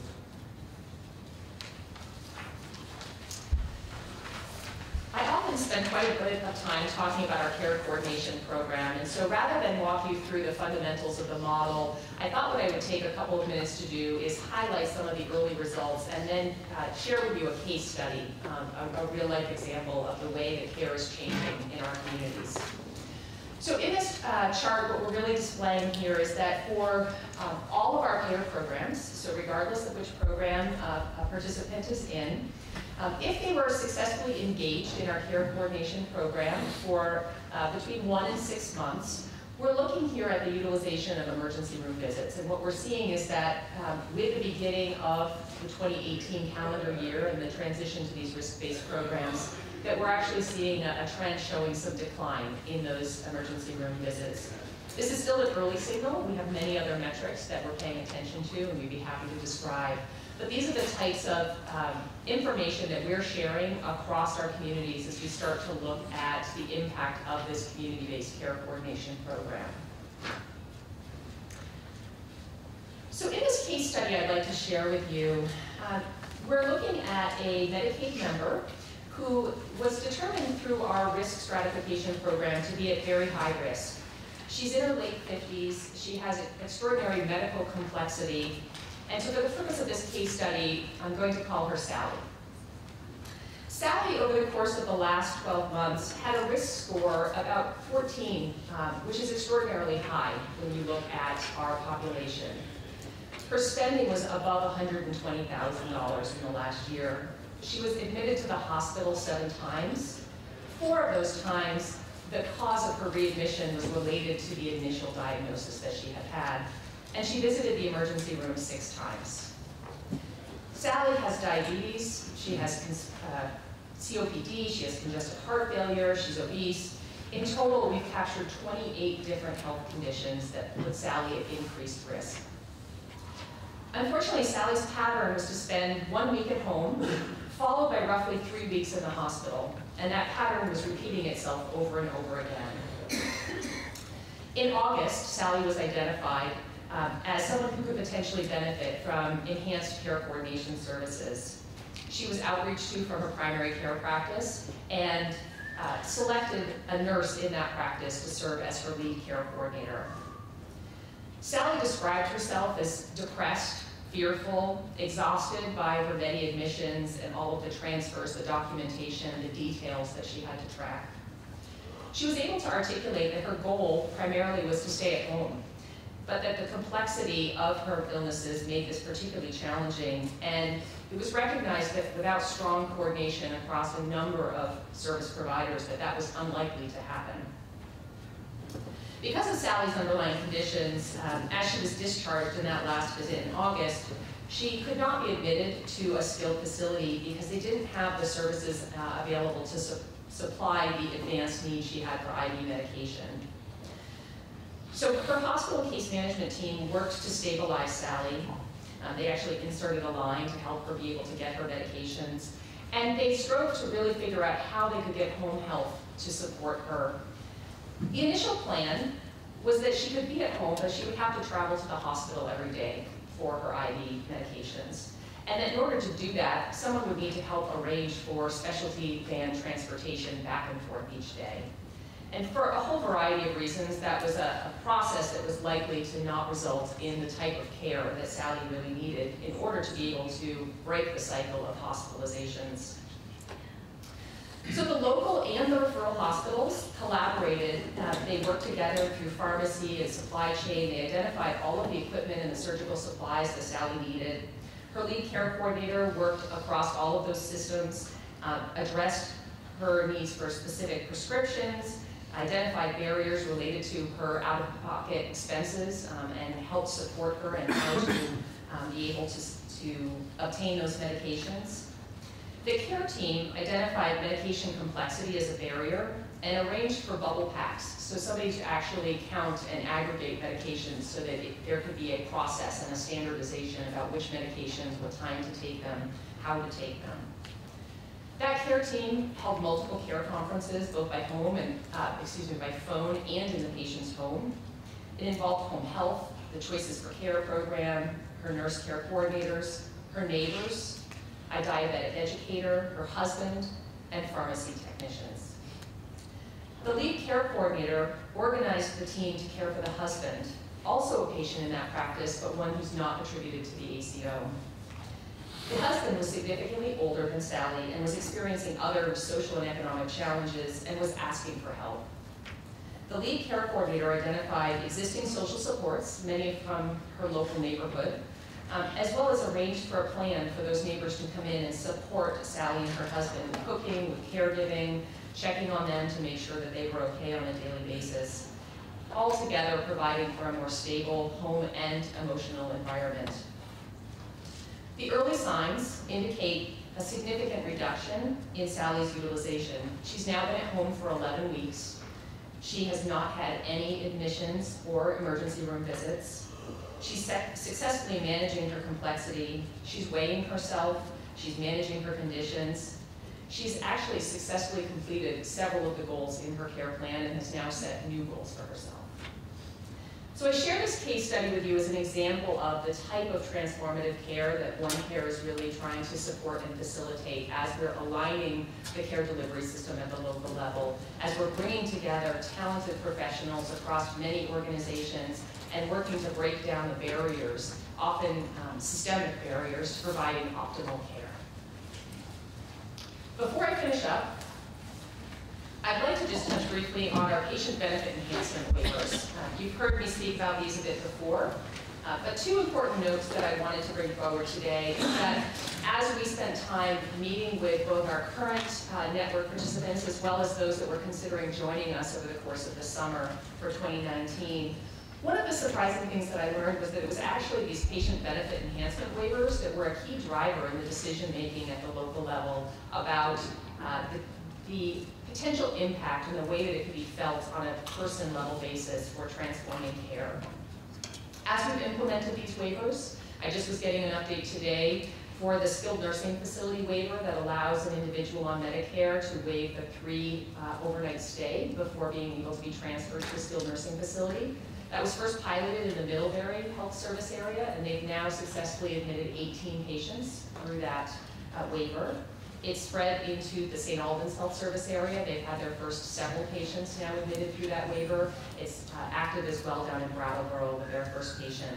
We've been continuing to train new communities. And I think one of the biggest challenges that we're facing with this waiver um, is not whether patients are interested, it's not whether this results in better care.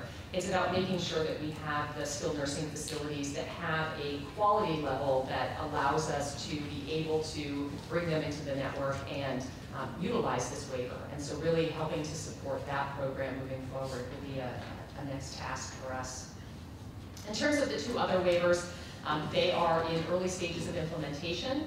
Uh, we are underway with SASH in a um, pilot program for the telehealth waiver uh, for residents in um, some of their settings and connections to their primary care providers. And then for the post-acute home discharge waiver, we're hoping to implement the first pilot program in November. Um, we have been challenged by some of the legal and contractual requirements that are necessary to be able to fully deploy this waiver in the way that works for our network. Um, in other ACOs around the country, it's tended to be done in a, a centralized fashion, maybe through a clinically integrated network. But we're really looking to build that partnership more strongly between our providers and our home health agencies. And so just working through the details of how to make that happen has taken us a little longer than we anticipated.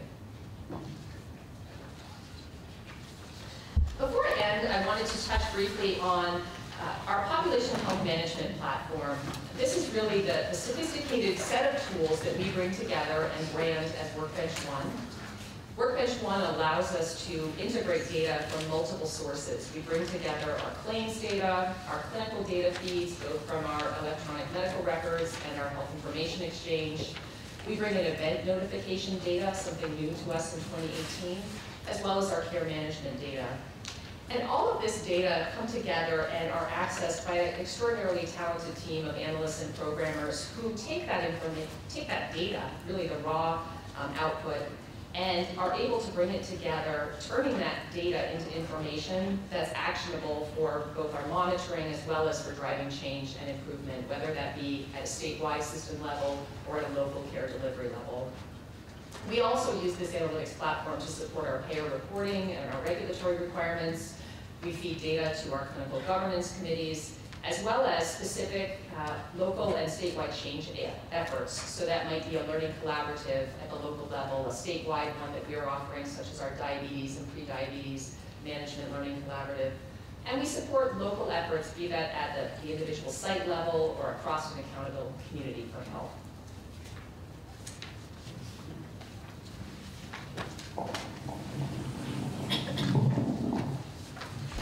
All right, thank you, Tom and Sarah. Good job. All right, so as we conclude our, our formal presentation, just a, a couple thoughts uh, to put this year's budget uh, in context for, for, where this is going uh, uh in all-payer model. I think we're, you know, we've started something really good here in Toronto. People are really interested nationally to see how this is going to work, and you know, we're all working really hard to, to make the model uh, right, but thoughts on ensuring success for the rest of the model after, after this year, I, I just want to take a couple minutes. Uh, I, I, would encourage us to focus on affordability as uh, having a true north, which is the all-payer model growth rate of 3.5%. Um, and you know the way you got to think about this is on a statewide level, having a model for what you think the different categories are going to grow at, and then understanding what is OneCare's unique payer mix and is the population even within a payer uh, that we attribute higher or lower risk uh, than you know the statewide average. That really gets complex, but it's really going to be essential for us to agree on how we measure that growth rate and what OneCare subset of the state uh, accountability uh, that we have. Um, and you know that that's one that you, you certainly have me and my team's uh, strongest dedication to to work on. Uh, I know we all worry about affordability, and a lot of times it ends up being just focused on the commercial insured, uh, but this is an all-payer model, and we do have a definition of affordability uh, at the 3.5% growth rate level. We believe in our best ability to calculate it, that if the entire state was in OneCare, we would be proposing a growth rate from 2018 to 2019 of 3.0%, so it does even leave a little room uh, and margin for error for the non-attributed lives. Uh, and for final models and, and targets. Uh, you know, but I really urge you in your regulatory uh, models for uh, uh, the ACO under all-payer model to use that 3.5% as your as your true north uh, and regulatory guidance parameter. Alignment of the regulatory oversight levers. I mean, this is one we've talked about together for years, which is you know, uh, you as a regulatory body uh, are unique nationally in having a dial for hospital budgets, the largest chunk of spend in a healthcare delivery system uh, and under the total cost of care.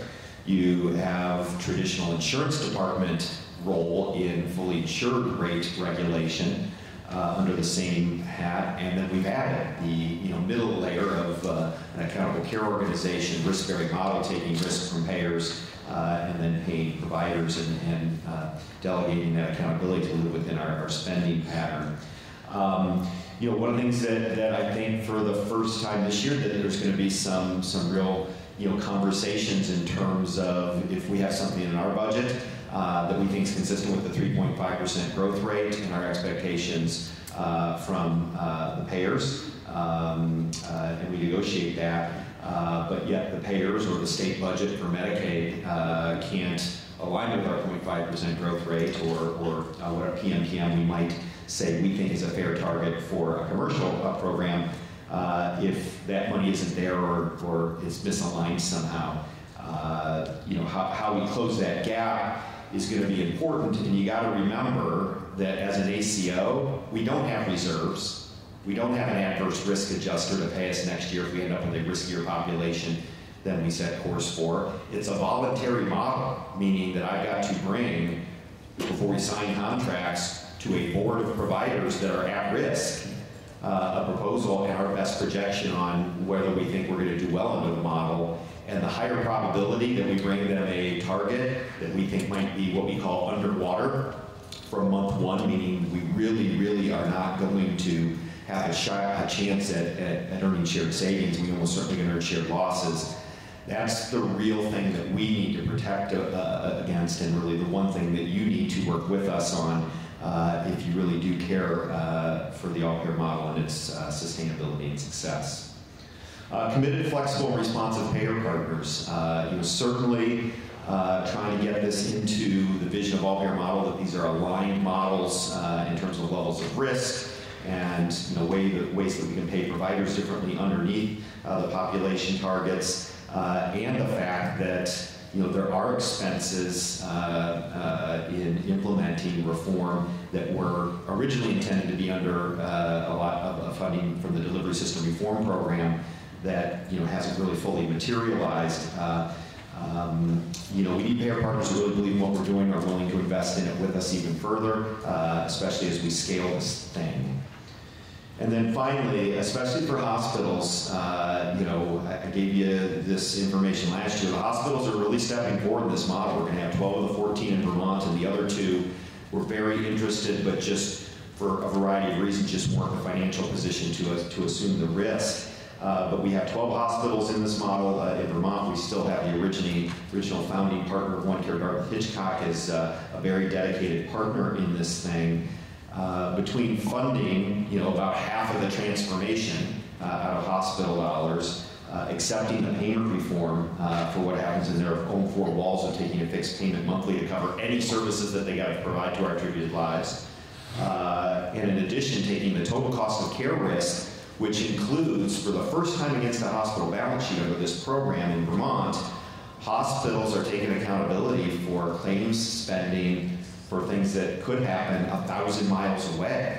And that's a brand new risk on hospital balance sheets that never existed before. It's one thing to say, we're flipping the axis for your services, that we are going to reward high volume in your hospital, and now we're going to reward uh, high value in your hospital. But on top of that, taking that extra risk on the total cost of care that's embedded in ACO models is a big deal, and especially as we scale the model, if you really believe that we're going to keep making progress on scale targets and need to make progress on scale targets, I think the hospitals are about tapped out under the existing models in what their balance sheets can, can bear. The $34 million of total risk that Tom talked about is getting to be such a substantial number that from here, in 2020, if we're successful in additional scale, we have to have a really serious conversation in terms of do we want to build additional reserves at OneCare so that we can limit the 34 million maybe in a flat year-to-year basis? Do you want to allow hospitals that are taking that risk to have extra hospital budget uh, accommodations to build reserves so that I can give them more than $34 million worth of risk and not have it be, uh, and have it be uh, safe risk and funded risk? That's going to be the really most important discussion we're going to have as we get into the second half uh, uh, in year three uh, of, of this all-payer model. Um, and those are the thoughts I want to leave you with. And at this point, I think we're done with our formal presentation. And I'm glad to move on with the question uh, here.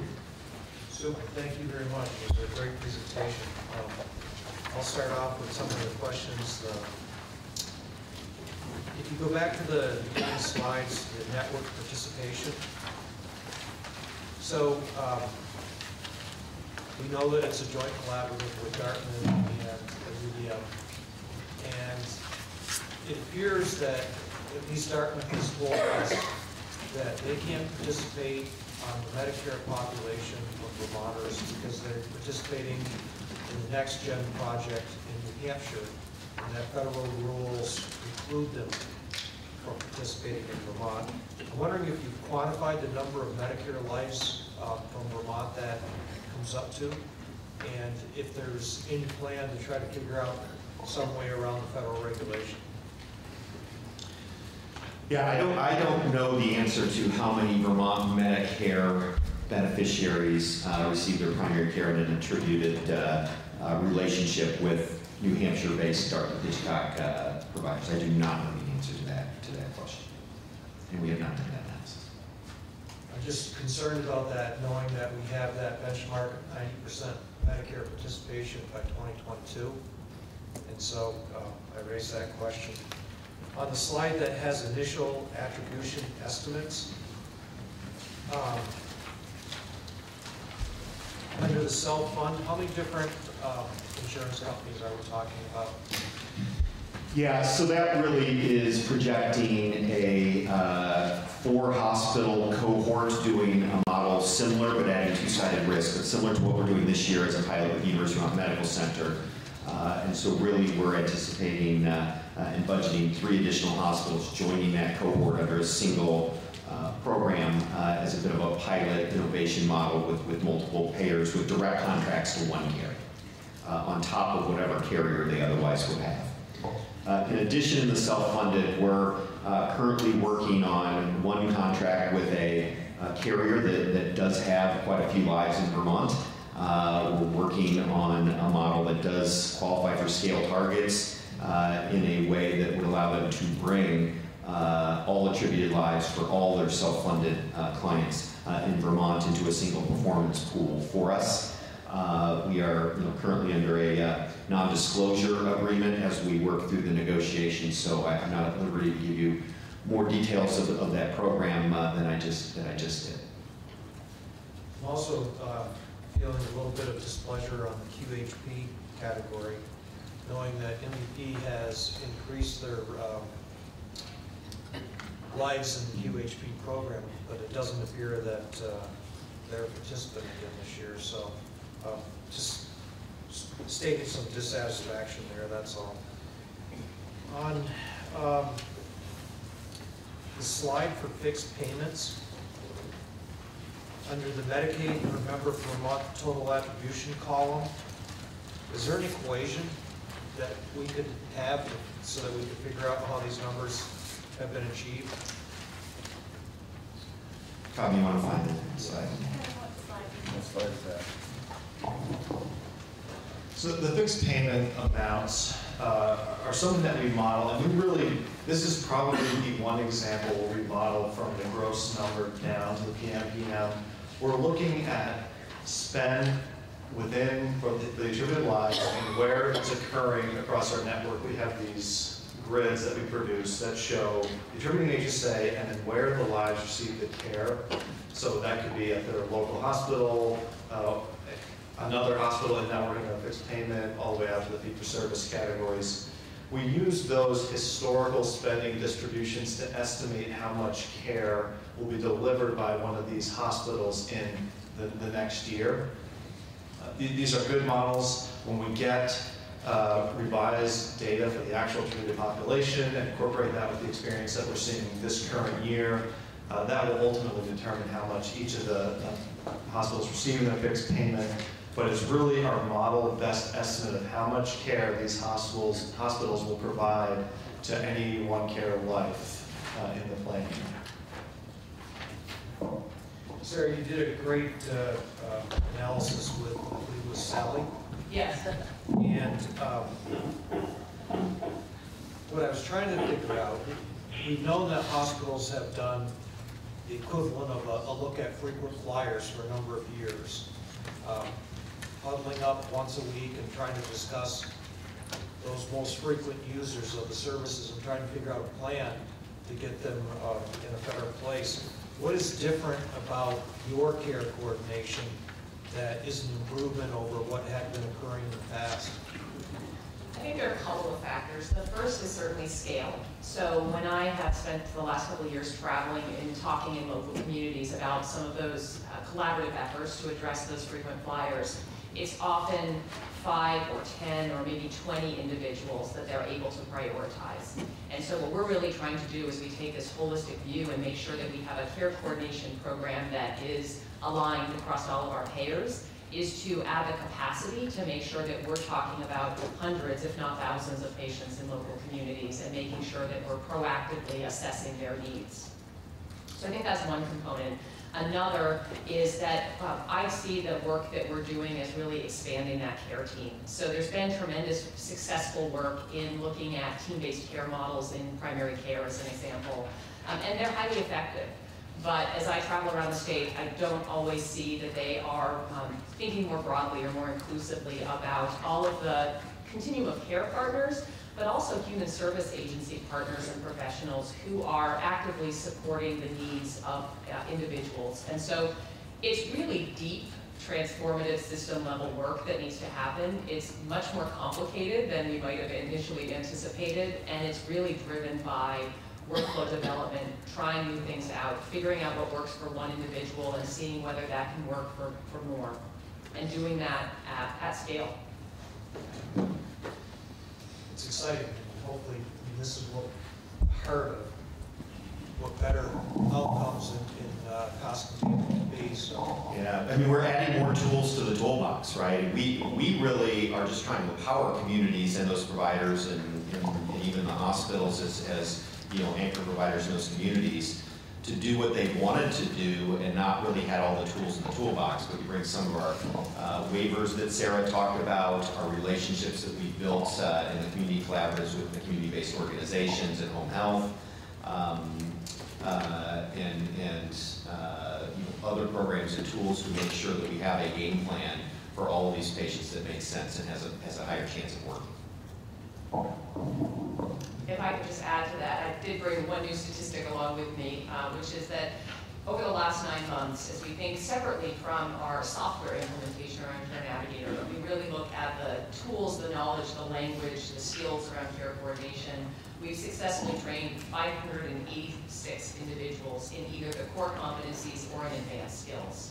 And that to me really speaks to our ability to reach to all corners of the state, regardless of direct ACO participation or not, but to get communities ready to be able to join our network and to have that, those tools and the facility and the knowledge around how to support true transformation. One of the complaints that we hear uh, occasionally is that the approach to um, care coordination um, by One Care is a decentralized approach.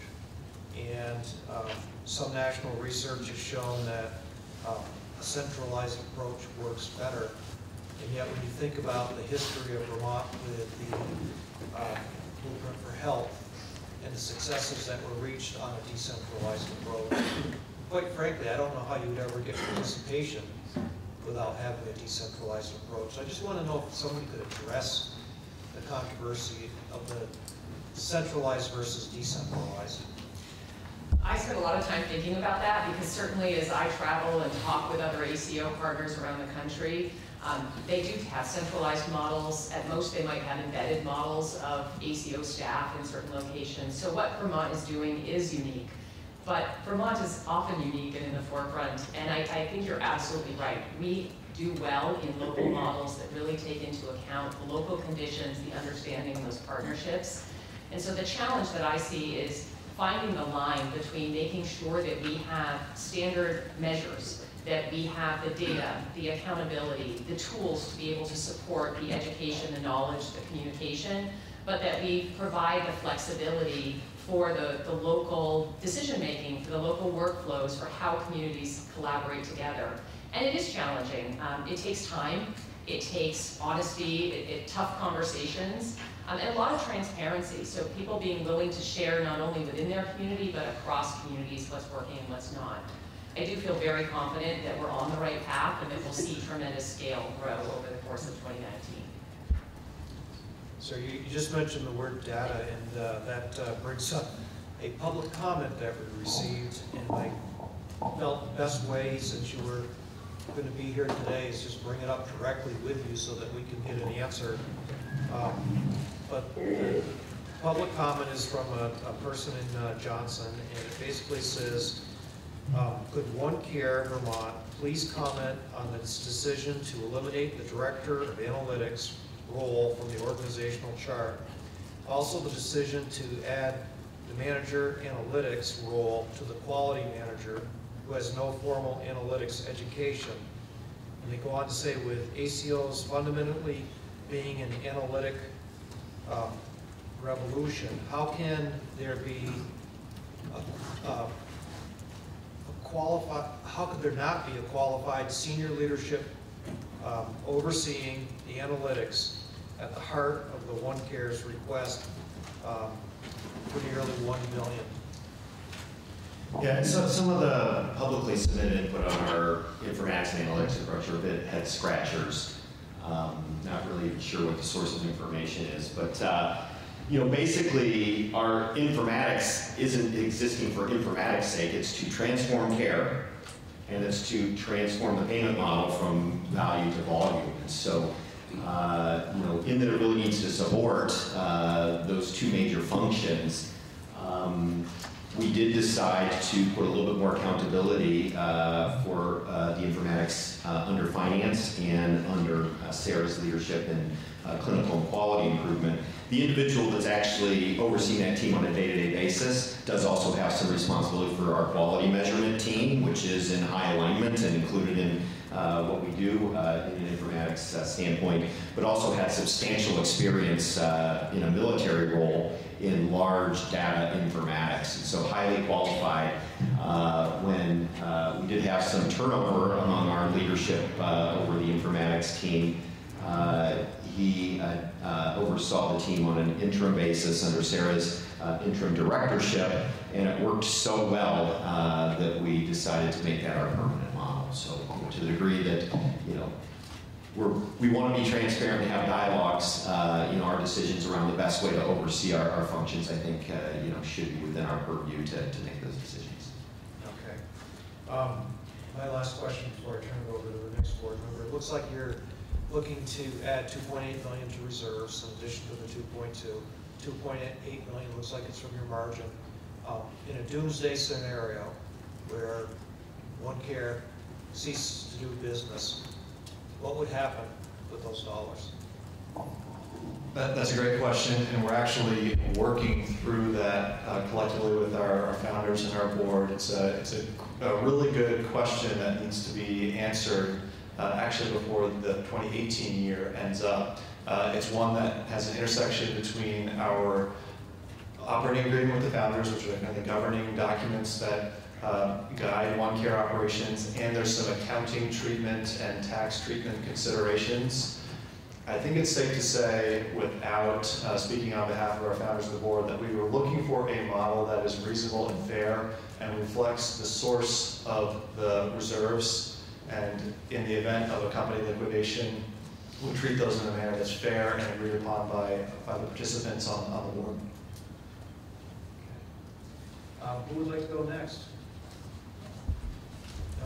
Everybody's hand was up, so I'll, I'll- start with Jess and work my way down. I'll play cleanup. Thought you were looking for volunteers, but we had lots of volunteers. Okay. Um, So first of all, thank you for the presentation. And um, Todd, I really appreciate your opening remarks about this is, you know, the beginning of a process. And the extent that the- my comments that follow are, I understand that you are working, this is, you know, uh, the start of a long, uh, hopefully long model that is going to require some work and some foundational building. So, but when I think about budgets, I think of them as, as forward-looking documents based on strategies um, to achieve some goals. And the goals I think about here are scale goals, payment reform goals, and delivery reform goals. All, if achieved, will bend the cost curve and improve quality of care for Vermonters. So when I think about, first of all, scale goals, I was struck a little bit by, um, a commentary in here about how OneCare has not set numerical goals for provider participation um, and attributed lives by HSA and hasn't done an assessment of penetration rate by HSA. So I'm, I'm wondering if you could speak a little bit to that, why there are no goals on the scale in particular by HSA and penetration rates and provider um, goals. It seems like we should have some goals, some goalposts. Yeah, and I'm not sure I disagree with that, but you're right, we haven't, we haven't really thought about that, and, and as you know, uh, with your long service here on the board, that, that, you know, this is meant to be a voluntary model.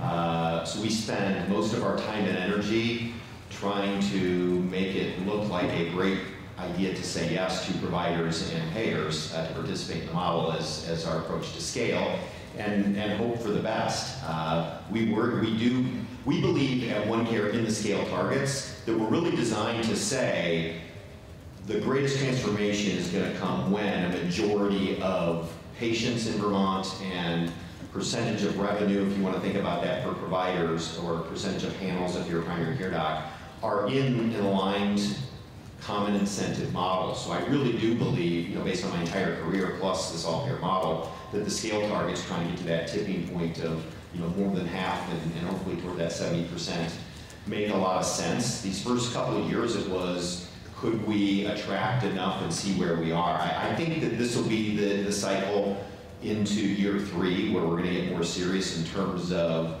where can we make additional large strides uh, toward the, toward the scale targets. Uh, one of the big ones is gonna be, we need to get people into the Medicare program. So the Medicare risk scares some of the risk-bearing hospitals. Uh, The high spend per beneficiary, the number of Medicare beneficiaries we have in Vermont growing uh, with the aging of the population. Uh, And the risk corridors, even at that minimum 5% on Medicare, makes the maximum risk number for being in Medicare program a scary number, even when we actuarially convince them that you got a really good chance of beating the target. Uh, uh, And so that's, that's one, is we sort of need to crack that nut of how do we get hospitals in for all programs, including Medicare, and that's one of those relationships to the hospital budgets. Uh, So I think we're going to turn our attention to be much more proactive in terms of, you know, what are the large levers, how many lives would they bring in, in a, in a more planful way. So I, I appreciate the, uh, both the input and the question. Okay, and this, and just let me, just quick question, actually, you answered my Medicare question. I was going to ask you about why Medicare is so scary. Um, You sort of answered that in that But back to your slide, one of your slides on participating provider tests, you actually had a decrease among independents, a slight decrease among primary care, one practice, but then five specialty practices. And I'm just wondering, is there anything that we should learn, worry, be concerned about? Everything else is moving in the positive direction, except for the independents. So I'm just wondering if there's something you can share about that. Yeah, I think that the independent primary care was one practice that didn't, didn't renew. The specialist one is one that jumped off the page to me as well. I, I think it's reflective of the initial programming that OneCare has developed hasn't really zeroed in on specialists, and that's why it's a core component of our 2019 model, is to start integrating them, in, especially independents, into our reforms, into our health system, and more clearly show them the value that the ACO adds to them and offers them. So I think there's a number of practices that just, uh, I'm not seeing so much out of OneCare yet, and I'm thankful for the 25 that stuck around, and think that we can continue to grow this with more targeted programming. Yeah, I think that the one practice that did exit on independent primary care was a pediatric practice. And, you know, with our focus starting on high-risk patients, care coordination, uh, you know, the, the pediatric population isn't the multi, polychronically ill population, and, and, you know, probably it's almost benign neglect, there's not much in it for them uh, currently.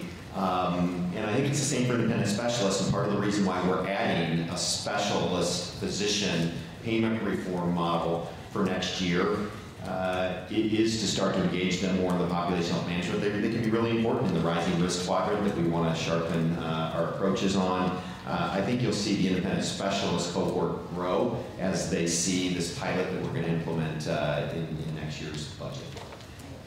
So that- that second bucket of goals revolves around payment reform, and I think, if I understand correctly, about twenty-five percent of the total cost of care spend right now is in fixed payment. The remainder, from what I understand, is still in fee-for-service, is that right, from what we gathered? Okay, do you have goals regarding that, like moving more, you know, what are your goals for the next couple of years in moving money out of fee-for-service towards fixed payment? Well, I mean, we do want to work with our commercial insurers to sell them on the attractiveness and help them be able to operationalize the fixed payment model for the hospitals. Because we really do believe that provides the sharpest, clear incentive for the hospitals uh, for value over, over volume. So, um, you know, one reason it's at 25% is, is that we don't have a any commercial payers that are participating in the fixed payment model program. We can simulate it behind the scenes against a, you know, retroactive settlement against fee for service, but that is, you know, slow after the fact and not as sharp a- of, an incentive. So, uh, you know, we, we do have a goal to get more uh, of, the, of the attributed population in the fixed payment. That was, that's my follow-up question actually related to that, is I was struck a little bit also by the comment here, um, I think it's on page fifteen of scale strategy three, which said, currently we're experiencing limits to the commercial payers' willingness to align their business models with the all-payer ACO model and the program parameters, payment reforms, and population health management approaches set forth under the Medicare and Medicaid Next Gen program. So I am wondering if you can speak a little bit to some of the obstacles to getting more commercial payments into fixed payments, getting on board.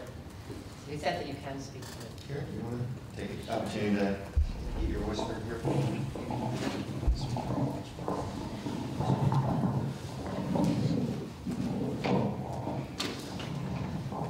So I've done a lot of work on the commercial side of things, as, as I know you know. Um, and we're really running into, you know, you talked about disappointment in MVP, um, pick on that for a second. But, you know, they come from New York, they don't have a huge population here, they have a different model in that state. Um, changing, you know, they're not unable to implement fixed prospective payment. You know, doing something for the small group of members that they have here is really difficult for them. And so while we've had extensive conversations, we're so far apart on the models that it just doesn't make sense at this point in time to contract. But if anything from believing in the, in the model, understanding the model, sharing risk, sharing claims payment data, you know, that's something that we're getting significant resistance on the new payers we've talked to. Uh, quality metrics, uh, one of the other commercial payers we've talked to, um, they have contracts already in place with employers that have very specific quality metrics and incentives for them in order for them to share those dollars with us. We have to align to their model, not they align to our model. So I think it's going to be, well, we've had great conversation, and I think we've done a lot of educating for new payers coming into the market or entering into the all-payer model. I'm hopeful that maybe in another year, we can really get there with more conversation. It's just we didn't include a lot of detail or numbers in our budget because we're not sure we're gonna get there for some of the payers for 2019. But we're hopeful for 2020. And, and that's a, that's a great answer, which is, allows me to make the point of, from a provider standpoint, we want aligned population models, right? So we can think of all the patients we touch in a similar way based on their, you know, needs and what we need to do to keep them healthy. From a payer perspective, they want sort of all their provider network accounts to follow a similar model, and they like to use their value-based purchasing as, as a differentiator in the marketplace. And both positions can be right, and so you sort of end up trying to find something that meets in the middle, and, you know, we've got a, at least one payer we've traditionally contracted with that we think has been on the side of, it works, right? MVP didn't quite get to that middle layer and sort of was a little bit too much toward uh, a model that didn't make sense for us. And so this is going to be a, a bit of, a, of an ongoing ev- evolution uh, on this model. Vermont's not the only state struggling with this issue as they try to do all payer models or multi-payer line models for. I'm glad to hear this optimism. Um, And related to that, I noticed Dartmouth Hitchcock is not in fixed payment. So is there any for Medicaid or for commercial? So how, does- how does the partnership with Dartmouth Hitchcock and the movement towards getting them on fixed payment like the other hospitals? Yeah, optimism there. Yeah, I mean, Vermont with its really focus on local hospital autonomy, leadership, and accountability, the Vermont culture really lent itself to local communities want want to be responsible for the total cost of care for their local community members wherever they get their care. Um, And so, you know, really, we had a long discussion in terms of what does that mean when they end up at Dartmouth Hitchcock? Uh, And, you know, both the local hospitals and Dartmouth Hitchcock, you know, both thought that it would be better to leave that spending accountability at the local community uh, because we did believe there was a danger that local communities might start sending more types of care than needed, the level of care a Dartmouth Hitchcock Tertiary Center could provide, if they didn't have that go against their own accountability. So I know it seems weird that Dartmouth Hitchcock is still largely a fee-for-service payer for, a, a fee-for-service provider for our population, um, but, you know, no organization nationally has had a longer dedication to population health management and, you know, uh, trying to uh, take these uh, accountable models and, and make them successful. So they're not just another fee-for-service member of the network, they're a highly collaborative one at the table, working with us, looking at data uh, to try to understand that. So, uh, you know. It's not a worry for you. It, it, it's not a worry for me. Now, Dartmouth Hitchcock, when they do attribute lives in the programs they participate in, take, take the, take the risk like any other hospital. Um, but from a payment model perspective, even within the state of Vermont, University of Vermont Health Network, even though they get paid prospectively on a payment model, when they serve people from another community, that goes on that other community's dime, and we settle that up behind the scenes against those fixed payments. So they're really no different than University of Vermont Medical Center is when people come from other communities They are under our risk-sharing model. I have one other nuts and bolts uh, thing to add on this. and that- wasn't nuts and bolts enough. Okay, I'll take it out. So with our uh, fixed payment reconciliation model, we, we keep the home hospital spend for local a true fixed payment concept. For the referrals in and out, that is subject to reconciliation, and Dartmouth does so much care when they're referred from other HSAs that so much of the spend would end up being reconciled at year end. it's just operationally easier to keep them a fee-for-service payer. So we haven't pushed on this too much. uh, So that combined with the concept. Thank you. So the, the last bucket obviously is, is delivery reform. Um, And so one of the areas that I wanted to ask some questions about were, uh, involved the care navigator uptake and the, um, you know, the care plans and the lead care coordinators, some of the percentages of uptake and percentages of high-risk patients that have a lead care coordinator, have a care management plan seemed low to me, but I, I recognize this is the beginning of a process. But I wanted to hear what your, again, what your goals are to get higher engagement. Sure. So we've had a goal that we've articulated uh, to our network around patient engagement in care coordination for each of the payer programs, and that is to achieve 15% engagement. Sounds like a small number, but in our research, it's actually quite an aggressive number. We are uh, on track heading in that direction. I don't know that we'll hit that target in 2018, but I think that we'll be in good position to be able to achieve that in 2019. On top of that, we're really starting to pay more attention to some of the outcome measures that we want to see. So looking at those reductions in utilization of uh, admissions, readmissions, ED utilization, increases in preventive care. And those are things that we're really monitoring on a very close basis, not only internally to look at the effectiveness of the program, but being very transparent and sharing that, the variation from one community to the next, trying to understand why we're seeing some of that. At the same time, certainly we hear feedback as well about Care Navigator as a software tool. I think there have been some very significant steps forward in the, the last year.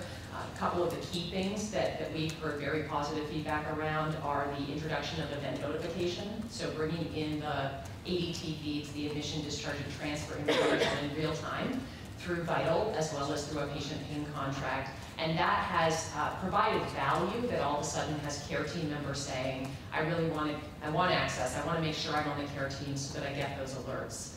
Um, it's also dragging the need for workflow development around, okay, so five people get the alert, who's on first? Who, who takes the ball and, and really runs with it?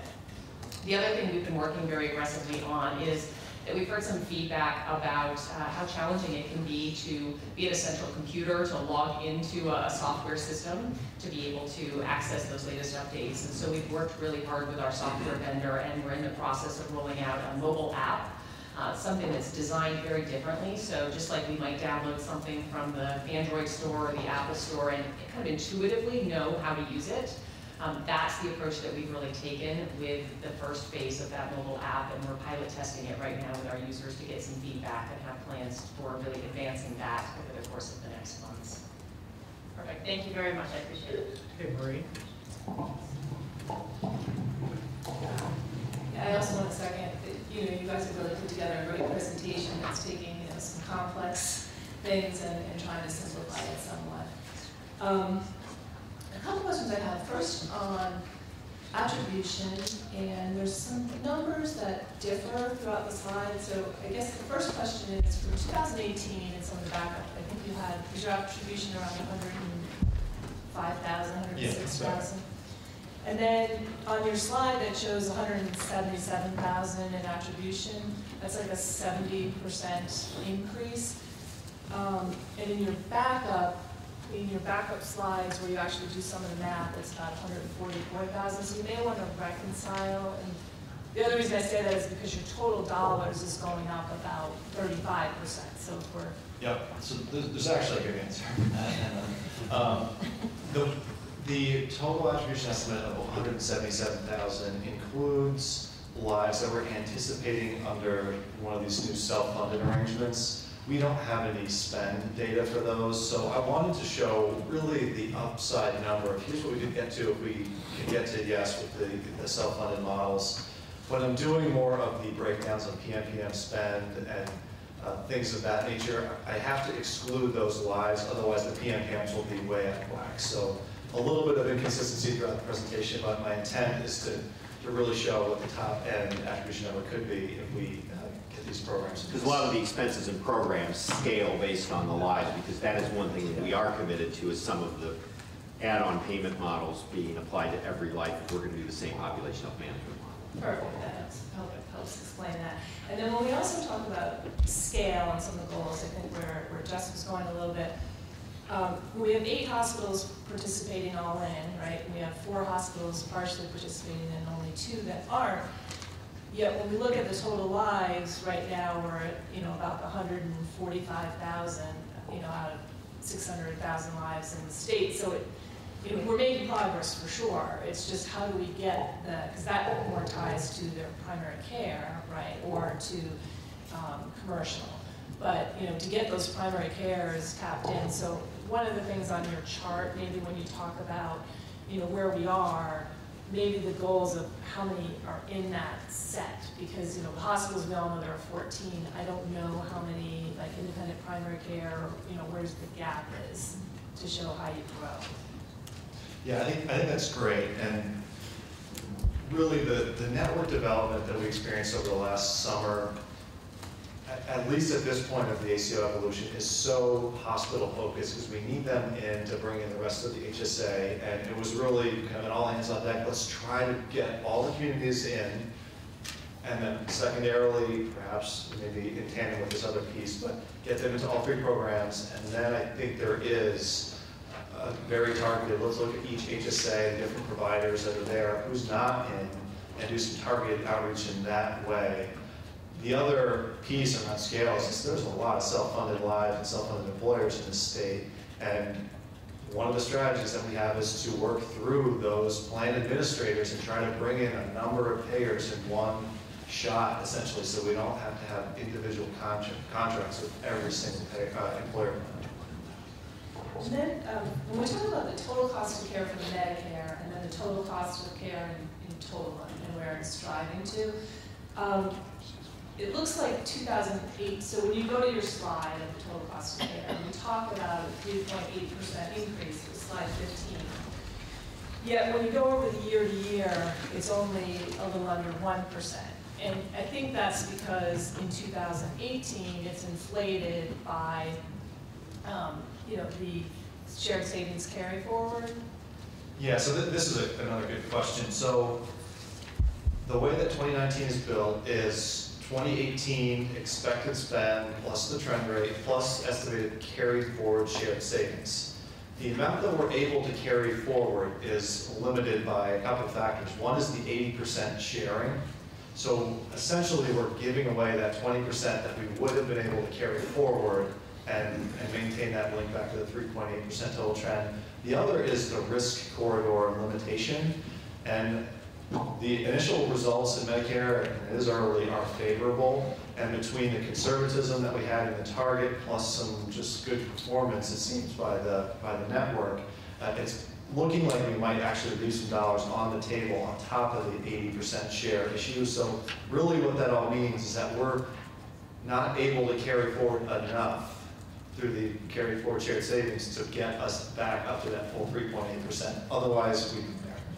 Yeah, where I think that also is important is on slide 21, when you came up with your calculation of the 1.9% year over year. I get the math that that works, but if I did a weighted average of the 3.8% and then the um, 5.5% for commercial and the self-funded rate, it would be more of like a 3.3%.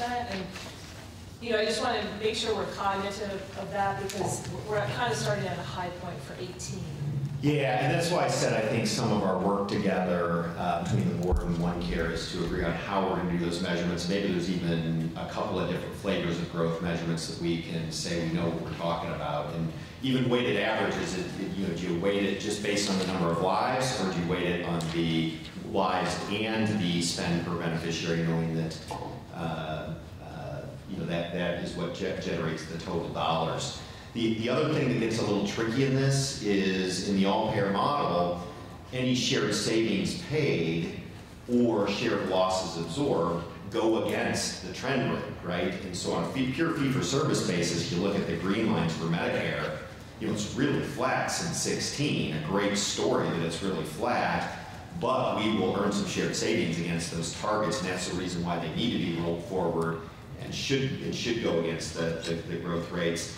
And so if a big part of the payments for Medicare is going to be the shared savings, both between the blueprint conservatism, which we did earn all of it back, plus additional savings to get us all the way up to our maximum corridor, that's what generates that 10,413 to 10,526 in our mind from all care model being the way Medicare ought to measure what the growth rate that they actually saw was, which is really 1.1%. Um, And then just on the fixed payment and uh, calculation, I think, for the fixed payment. It- For my first question on, on, um, just, just so I can understand the concept. If, um, if, if you're a hospital, um, like UVM, and you have your attributed lives and you have a fixed payment for those attributed lives who live in your HSA, and then you're getting a lot of other payments for people who come to UVM, but are attributed lives but not to you. Um, Is that all based on a fixed payment, or is there any reconciliation to the possible that would be at risk for those people um, on a fee-for-service true-up? So the fixed payment that each hospital receives includes both components, and we show it to them in that way in some of the reports uh, that we produce each month. The, the piece that is for their local lives, so if it's um, Union Medical Center, the Burlington Attributed Lives, that's treated as a true fixed payment, not subject to any reconciliation. The amount that's referred into UVM we do look at that through the lens of let's true this up uh, at the end of the year using whatever available dollars we have to do so. That, that second piece is really independent of any risk for UVM. Those dollars, the risk belongs to the, the community that attributes the life. So that spend, even though it's happening at UVM, it's under UVM's fixed payment, is part of the accountability of whichever HSA attributed the patient. So tho- that nuance between what the fixed payment is, which is really hospital care, versus the risk model, which is HSA-based, uh, is an interesting one when we build our reports. Yeah, so there is this sort of balance of trade calculation for each HSA that's based on services they provide to others that come to their community. Is that higher or lower than what is estimated in the fixed payment? And then vice versa, when people leave their community to go elsewhere uh, to a fixed payment hospital, is that higher or lower than what we budgeted? So it's almost a separate reconciliation. The way these fixed payment models work under, under the program that gives us the money is the tax identification number is either 100% in or 100% out. We can't just ask for the payments for the fee for ser, you know, lieu of fee for service for services delivered to the local population. It's everything that they deliver uh, in the base year uh, for the attributed population. And then, and then, and Todd, we can talk about something, but I, I kind of calculate that on your fixed payment, it seems like it's higher than twenty-five percent, I think it's like thirty-seven, if I looked at, you had two hundred and five million of, well, even, even if you just had two hundred and five million of Medicare and hundred and ten of Medicaid, you're at three thirty out of eight fifty, that's like thirty-six percent. And if you go to each area, so like Medicaid's about fifty percent, um, fixed and, um, Medicare, I mean, Medic, Medicare is about fifty percent, Medicaid is higher. Yeah, we'll, we'll, we'll take a look at it. It's, it's even helpful, helpful for me to see some of the ways that we can slice the data that could be meaningful to you. And then, you know, the percentage that's paid, not fee for service, uh, uh, sounds like a good one. And it sounds like, uh, from you, Jess, I guess, some more targets and, you know, plans uh, for. And then my last area is on risk. Okay. So, um, a couple things on the risk in total. So, you have thirty-four million dollars of risk in total. Uh, I guess the first thing is when we talk about the, the two point eight million that you're expecting to put into a risk reserve, I would just challenge why you don't put that in as an expense rather than as net income and put it in, because I think we, you know, if you want to commit to the two point eight and you're getting the reimbursement from the hospitals, put it in as the two point eight, go to the zero. And then if you become favorable to that zero, I guess it's your choice whether, you know, with discretion, whether that would increase the reserve, but Yeah, I've had conversations with our auditors about this one, and because it's unobligated technically at the, at the time, I mean, it's a reserve that really has no direct, it's owed uh, determination at that point in time. It's not actually calculatable, like we have a $2.8 million reserve, but you might only need a million. We don't know exactly how much. So they say we can't accrue it as a true expense because of some accounting kind of technicalities. but now you're actually putting it up for two It- different it- it- it- We agree with you. Yeah. Right, and effectively, that's how it works, but from an accounting treatment, because it isn't funding a business expense against the current year's business activity. It's to have balance sheet to fund an expense against a future year, which is a shared loss payback. That, that's the reason why they asked us to report that. And then I think when you talk about the risk in total, um, because you're expecting to get reinsurance again, correct, on Medicare? Yes, we are. And that would give, um, at, you know, the worst case, right, if everything on every single one went way over, that would provide ten point five million dollars worth of benefit. That's ninety percent of the fifty percent risk in that category. So, so, you know, the total risk is like twenty-two million. Um, on those worst-case scenarios, you know, we said it was thirty, you know, thirty-five million. So I would just maybe, you know, because you're getting that, you may want to quantify, and then you have five million against that. And then the hospitals may or may not have other reserves. Yeah, and then, and that's right. I mean, the whole risk management thing is, is an interesting world, and, you know, there's no guarantee that we're gonna be able to replace that policy, uh, or, or, uh, get that swap placed that we have in place this year. So we have to have a game plan to cover thirty-four million dollars of risk, so you know, in that I don't have a guarantee or a multi-year contract that will be renewed, uh, I do need the hospitals to sign up for this. But you're right, if we maxed out all programs at all risk under the budgeted plan to have that reinsurance risk, it would then dial it back. You are. The, the one, one of the reasons it's important to show it this way is we give each hospital a maximum risk limit. Even if we did have a protection kick in that minimized our total ACO risk, every hospital needs to be eyes wide open up to that maximum risk limit because that protection we get back could cover everything above the maximum risk limit for them. So it's important for each HSA to really know what's the top end number for them. But you're absolutely right that in terms of the ACO payment, uh, we, it could be offset uh, in a material way through some other protection. I know that we're gonna have some follow-up meetings with, with you guys in the hospital, and, you know, how do we handle and, and look at potentially that risk, but, you know, one thing I would put out there is, you know, if the best estimate is what we have in there, which is right down the middle, right, and the risk corridor isn't on either side, you know, typically, in the accounting world, you, you only book up to that best estimate, you know, you, you could have overages and underages on, you know, every single line on your P and L, there's always risk. So, you know, I, I think it's important that everybody knows what the risk limit is and what the risk corridor is, but, you know, whether or not we actually reserve for that all, or look at other metrics like cash on balance sheet and things like that, that they can provide for it, because if you reserve for it, you just take it as an expense on your P and L, and the cash doesn't go out until, you know, a later date, if at all. So it's, and we're seeing some favorability, as you said, on some of the programs, which I think is great, so it's kind of pushing both sides. So I would just say that uh, the worst fears of any uh, person running a meeting were about uh, 30 minutes behind. So efficiency would be greatly appreciated.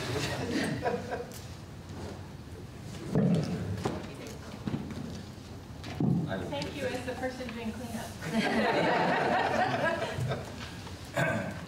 I will be as efficient as I can. Um, I want to echo Jess and Maureen in saying thank you for what you're doing here. Very complex design build, and not only are you designing and building it as you're doing it, but you're having to come and tell us all about it while you're doing it, and uh, uh, I'm very much appreciated for the effort takes. This is a, a big thing, and if we get to 20 and 22 and you're successful, it will be um, well worth it uh, for many.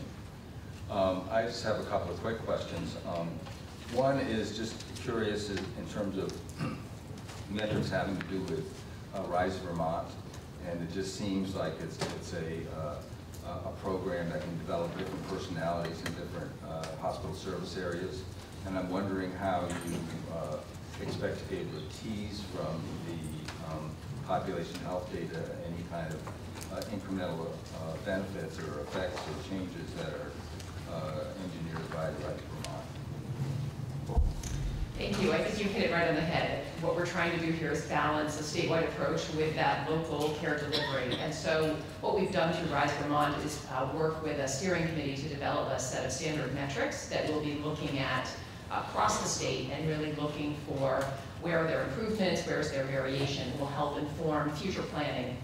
At the same time, there is flexibility and opportunity through these Amplify grants to be able to invest in particular activities that we think can really spark and, and highlight, accelerate the pace of change at the local level. And we'll need to pay attention to those and really evaluate which ones are more effective and make sure that we're sharing that information as we move forward. And is there any connectivity between uh, your investments in public population health and um, those that we approved in the hospital budget process, the additional four tenths of one percent spend, or these kind of, experience, few separate? Yeah, I mean, they're meant to be complementary, and, you know, in that we don't want to have to fund all the needs for local community, but sort of provide some structure and some resources that otherwise would go wanting. We, we hope and expect that the incentives that we drive uh, to do this and do this well will mean local communities will figure out ways to fund programs on, on their own as well. And so, you know, they're meant to be complementary and, and non-duplicative, but I think that there's a role for both. And finally, for me, I'm just looking at the uh, Medicaid total cost of care uh, spend rate. I think it's, you don't have to turn there, but it's on page, on slide 16. and it's relatively flat as, as, as you move from, um, uh, to 2019 from 2018, it's one half of 1% per member per month, and in the year prior uh, to, into 2018, it was about the same. And I'm, just want to understand, um, and, and then if you look at, at that growth rate relative to Medicare and, um, and commercial, for Medicare, it's a little bit higher at 1.08 percent, uh, and for the uh, commercial, it's 4.73 percent. So I just want to understand if I'm looking at anything that pertains to the cost shift. Um, Is it, is it that the, um, the Medicare rate is driven by the cost of the payer, which um, DVHA controls, or is it driven by the actual medical costs uh, incurred by providers?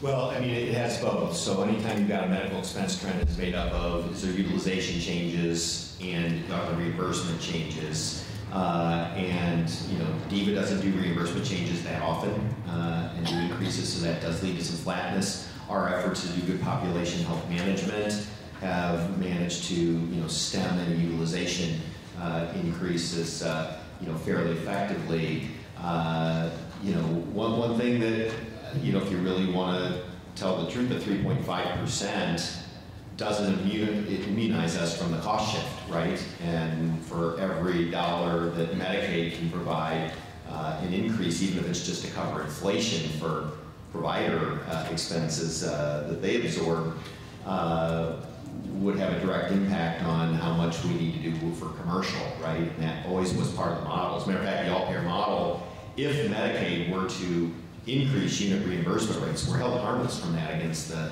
the target growth rate uh, because they definitely didn't want to do anything to keep us from doing that. I know that from being in the room that CMMI, the Innovation Center at CMS, was concerned that the most fatal flaw of this all-payer model, how we constructed it, uh, would, would be that, that Medicaid would, would uh, underpay or even go backwards, um, uh, and that therefore it looked like it wasn't providing affordability for Medicare and commercial. The, uh, I mean, I just did a rough, a quick calculation, um, looking at what if, just a hypothetical, if the Medicare per member per month rate was growing at two and a half percent, which seems, you know, uh, within a reasonable amount, and that would, uh, if it grew at that amount, it would be an increase of 3.8 million uh, in the Medicaid um, allotment and uh, but that would allow for a reduction uh, of the um, uh, commercial rate from 4.7% to 2.6. I'm not suggesting that. I was just trying to get a sense of of, of, of uh, what, what, the scale of it might be. And finally, just uh, it's, it's been a, an experience in my life that's probably white hairs. But you know, how do you think your all-payer model will respond in the next recession when the state budget really tightens up, caseloads um, in Medicaid increase, um, and uh, uh, you know, as opposed to now, we're experiencing a situation where caseloads are decreasing. The economy is good, people are getting jobs in the private sector, but uh, that's not always going to be the case. Yeah, it's a hard one to answer. I mean, what cycles we still have to come this five-year period, uh, you know, are going to be interesting, and we hope that, that none of them will be so profound as to break the model uh, and the dedication to it. I, I do believe this resonates with the provider community, and this is the way we want to deliver care, the population health management route. I think that, you know, having some economics that are at the top of the, the spend premium and challenging us to live within those while improving the system is exciting work, and I think we have a lot of support for it. Um, but there are cycles to these things, and some of them are related to you know business and, and general economic cycles.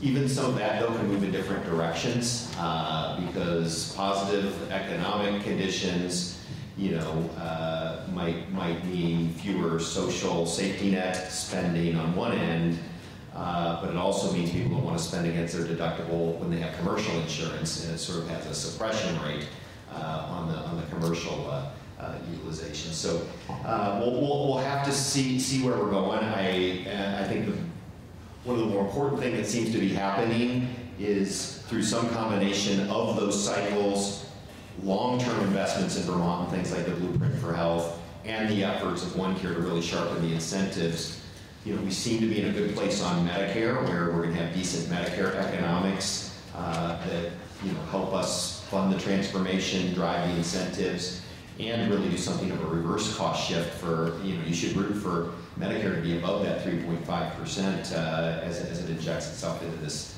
map. So hopefully that one will continue for uh, a few, a few more years, and we continue to have success with that really flat Medicare growth that we've seen since 2016, which is uh, uh, on the actual pure claims spend, you know, is a pretty amazing story for a Medicare population. Thank you. Robin? Thank you. Thank you, Tom.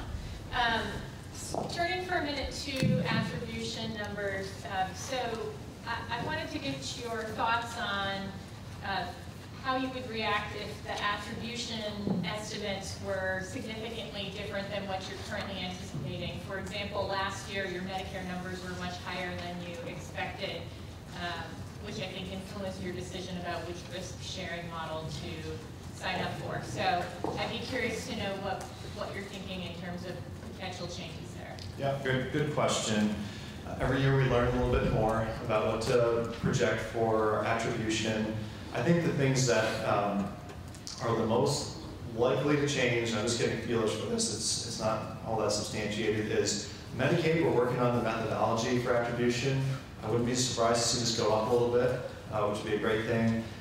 The, the biggest single change I think we'd experience is if we don't get a self-funded program off the line, that would be the most material uh, downside risk to the attribution model. The OneCare business uh, model itself all scales with attribution. Most things will flow with that, the total cost of care, the risk, the PHM spending that we make. There are some, probably more on the operations side, which is you know, a relatively small uh, portion of the whole budget, that are, are more fixed costs and not so dependent on attribution. But even contracts we have with our uh, software vendors for our informatics tools often flow with attribution. So if we were to lose attributed lives, we lose some expense there too. So it is, it is designed to be a model that can absorb that type of change, not only when you start a plan year, but throughout the year as we have attrition. Thank you. Um, I had a couple questions related to care management. Um, And I think both Jess and Maureen and Kevin all touched on, on this. So uh, maybe what I'll do is just make a comment and then we can move on.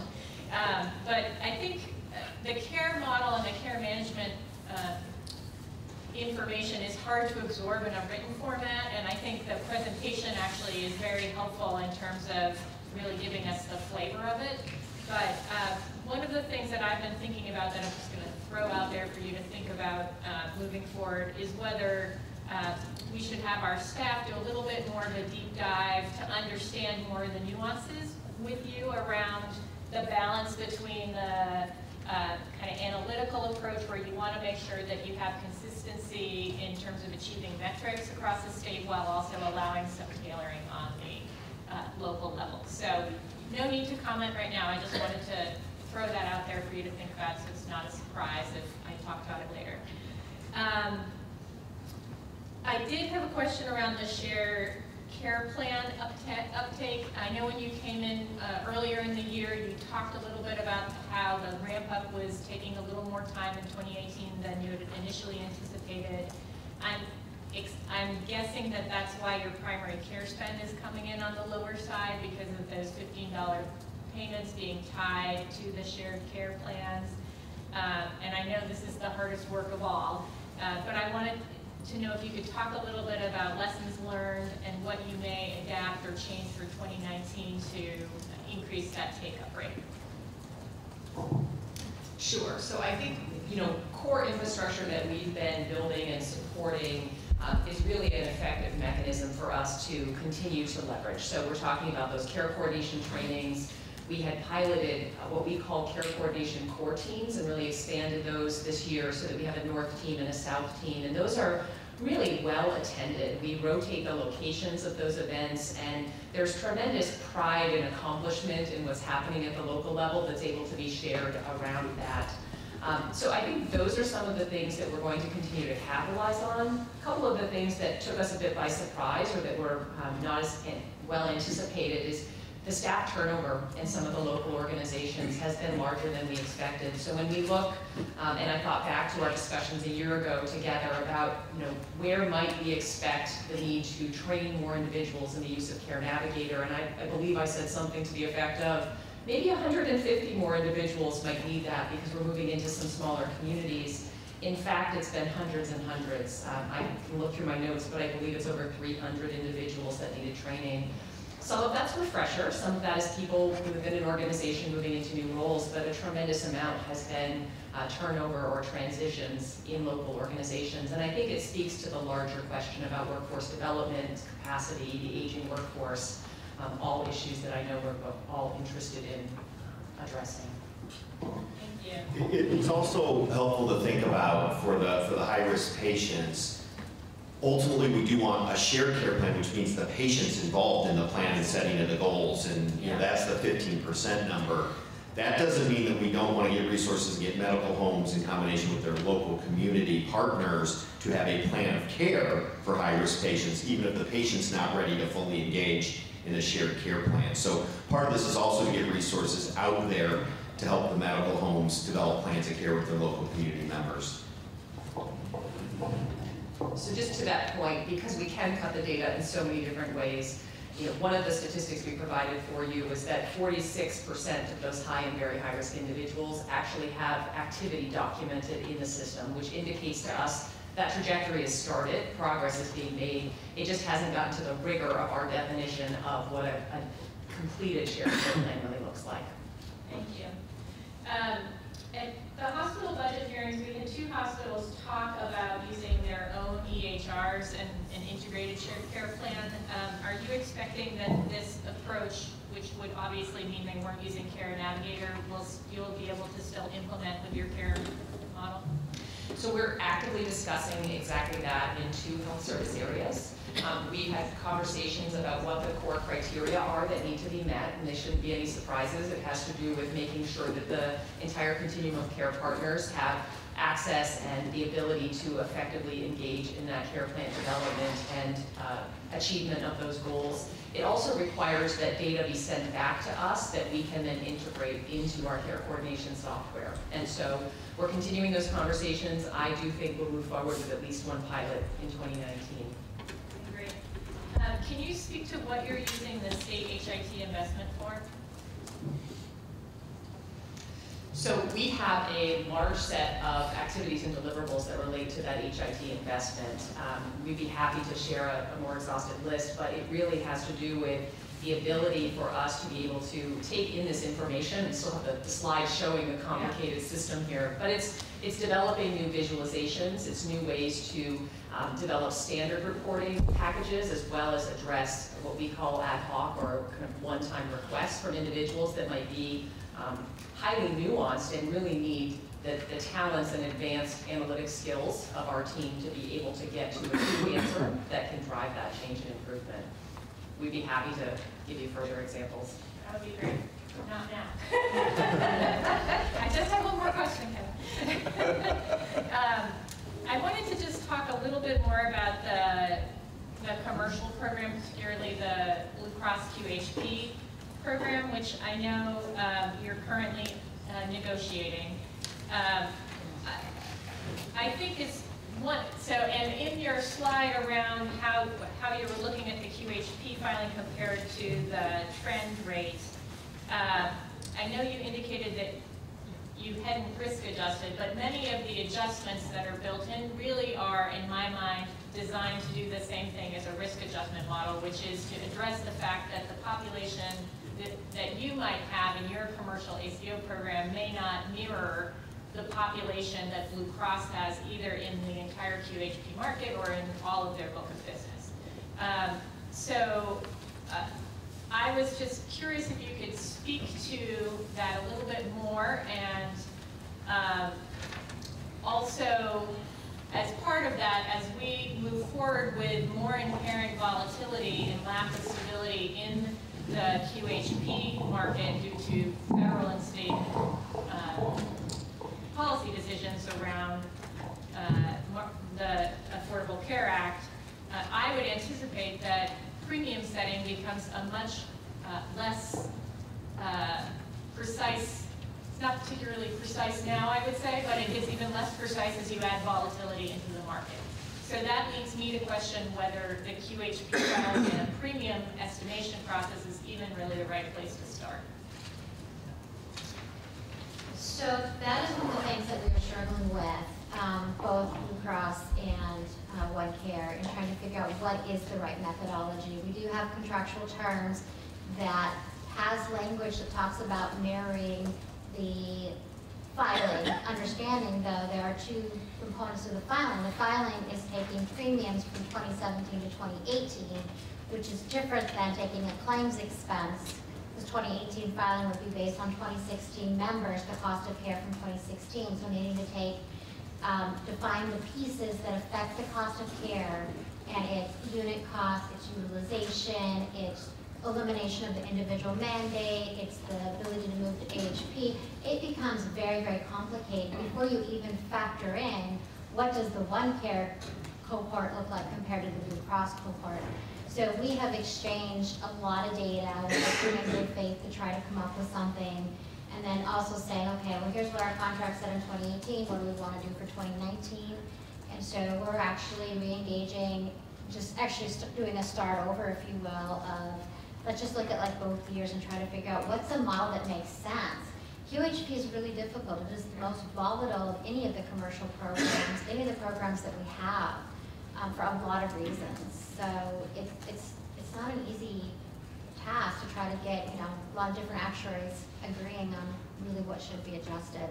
We just took our best chance, our best shot at saying, okay, we're starting with our 2016 actual cost of claims, trending it forward, we used about approximately 10% for unit cost, utilization increases, and then used estimates for AHP, elimination of the federal mandate, um, a population morbidity.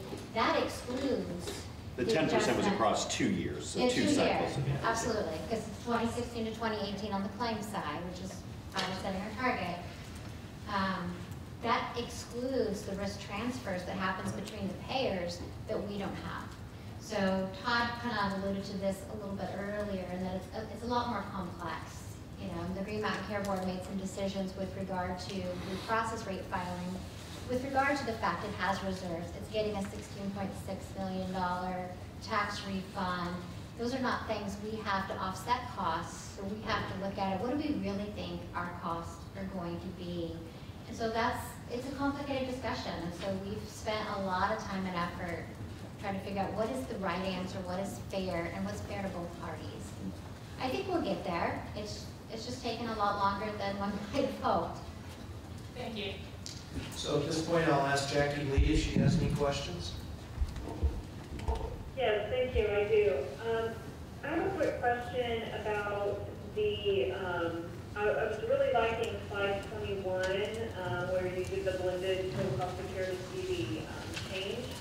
And I guess I ran into a confusion as you then moved toward, um, slide twenty-six, where you, it appears this is based on the same data, but there's a, a different number they were at the bottom, the 479 versus like a 490 number on the other side. Can you talk to me about, is it, what the difference is between those? Yeah, sure can. So slide 21 is a trending of our benchmarks, and we're using that because ultimately at the end of the year, that is the number to which we reconcile. If we're high, uh, we owe it back to the payer, and it gets us down to that benchmark, and then we're we receive the shared savings check, and that gets us to that benchmark. So slide 21 is a benchmark to benchmark projection comparison, uh, which I think is the right treatment, but as Todd mentioned, we're, ha- we're happy to roll up our sleeves to figure out really exactly how we want to measure overall trend. The, the other slide you reference is um, really our spend estimates, and particularly because of the shared savings carry forward for Medicare, they're not the same. Uh, We're expecting a a different spend number for Medicare, uh, just on a claims basis, and that's what slide 26 uh, portrays, as compared to the benchmark, which is portrayed on slide 21. So because the shared savings in Medicare go against our target, or our all-payer model math, that's the reason why we put in the benchmark in there, the higher number. But this is the first time the actuarial model against one of our targets makes us think we're gonna spend less on claims than what the target is. Now, I guess last year, or this year, it has been true with the medic, with the uh, blueprint conservatism, but it's even augmented further with the earned shared savings that we're rolling forward on top of, on top of that. Is that Anything else, Jackie Lee? Uh, no, thank you. Mike Barber, anything? Great, so we're going to turn over at this point to the healthcare advocate, Mike Fisher. Thank you, thank you, Kevin, thank you. uh, Hi, Mike. uh, Good it's good to be here, and uh, good to be a part of this conversation. Um, I think rather than asking a, uh, this as a question, I'll sort of make it a statement and ask you if you have a- a similar concern. Um, When I think about um, OneCare having a reserve, and understanding that the payers have to have a reserve, and understanding that the hospitals have to have cash on hand, um, and then also looking at the uh, risk that hospitals are taking on, and having heard some of the conversation in the hospital budget process about hospitals maybe needing to have some reserve, from a consumer's perspective, it gets pretty concerning that everyone wants to hold my money. Everyone, for good reasons, on each level. But I don't know how to reconcile that, and I just would welcome your thoughts about that. Well, you know, let's, let's, you know, be clear that, that OneCare doesn't have a balance sheet other than what we can have available to us or have pledged to us, right? And so we have legal obligations to write checks back up to $34 million. Yeah, Maureen's right that that it did come to that. We wouldn't have to write that back, So we'd have some risk mitigation. But what we've done is delegated that to hospitals to cover that risk. And like I said earlier, some of that risk is new type of risk that the hospitals are taking on that previously was held by the Medicare Trust Fund, the state budget of Vermont, and the reserves at a commercial payer. Uh, We don't have the ability to force getting some of that extra money on top of the spending target from any of those three parties. Uh, uh, In a perfect world, probably there would be what would be considered separate from even administrative payments against the infrastructure to manage the risk. But there's, you know, a risk component, a risk premium, part of the premium that goes toward risk, would be built on, on top of the claim spend. That's just not the way it works. Uh, Medicare sort of has set the precedent for, you want to take risk, it's based on the claim spend, and you got to absorb the risk management expenses uh, your, yourselves. So, you know, I know it's easy for me to say, I've got to at OneCare as a CEO in isolation and say, I've got to have a business model that works. Uh, I have fully delegated through contract 100% of my risk to hospitals, but if they default on that, OneCare still legally owes the money. Uh, and so having some reserves of OneCare at the very least prevents against that what is actually called credit risk that you know the people who've pledged against our obligations uh, would, would default. So you know that's the reason why our reserves at OneCare have been pretty modest uh, to, to date. I do, like I said in my closing comment after the formal presentation, do wonder as we gain scale and these levels of risk get higher, figure out how we want to do that. But I think we do need to talk about should OneCare have a risk premium? You know, might we transfer through that method?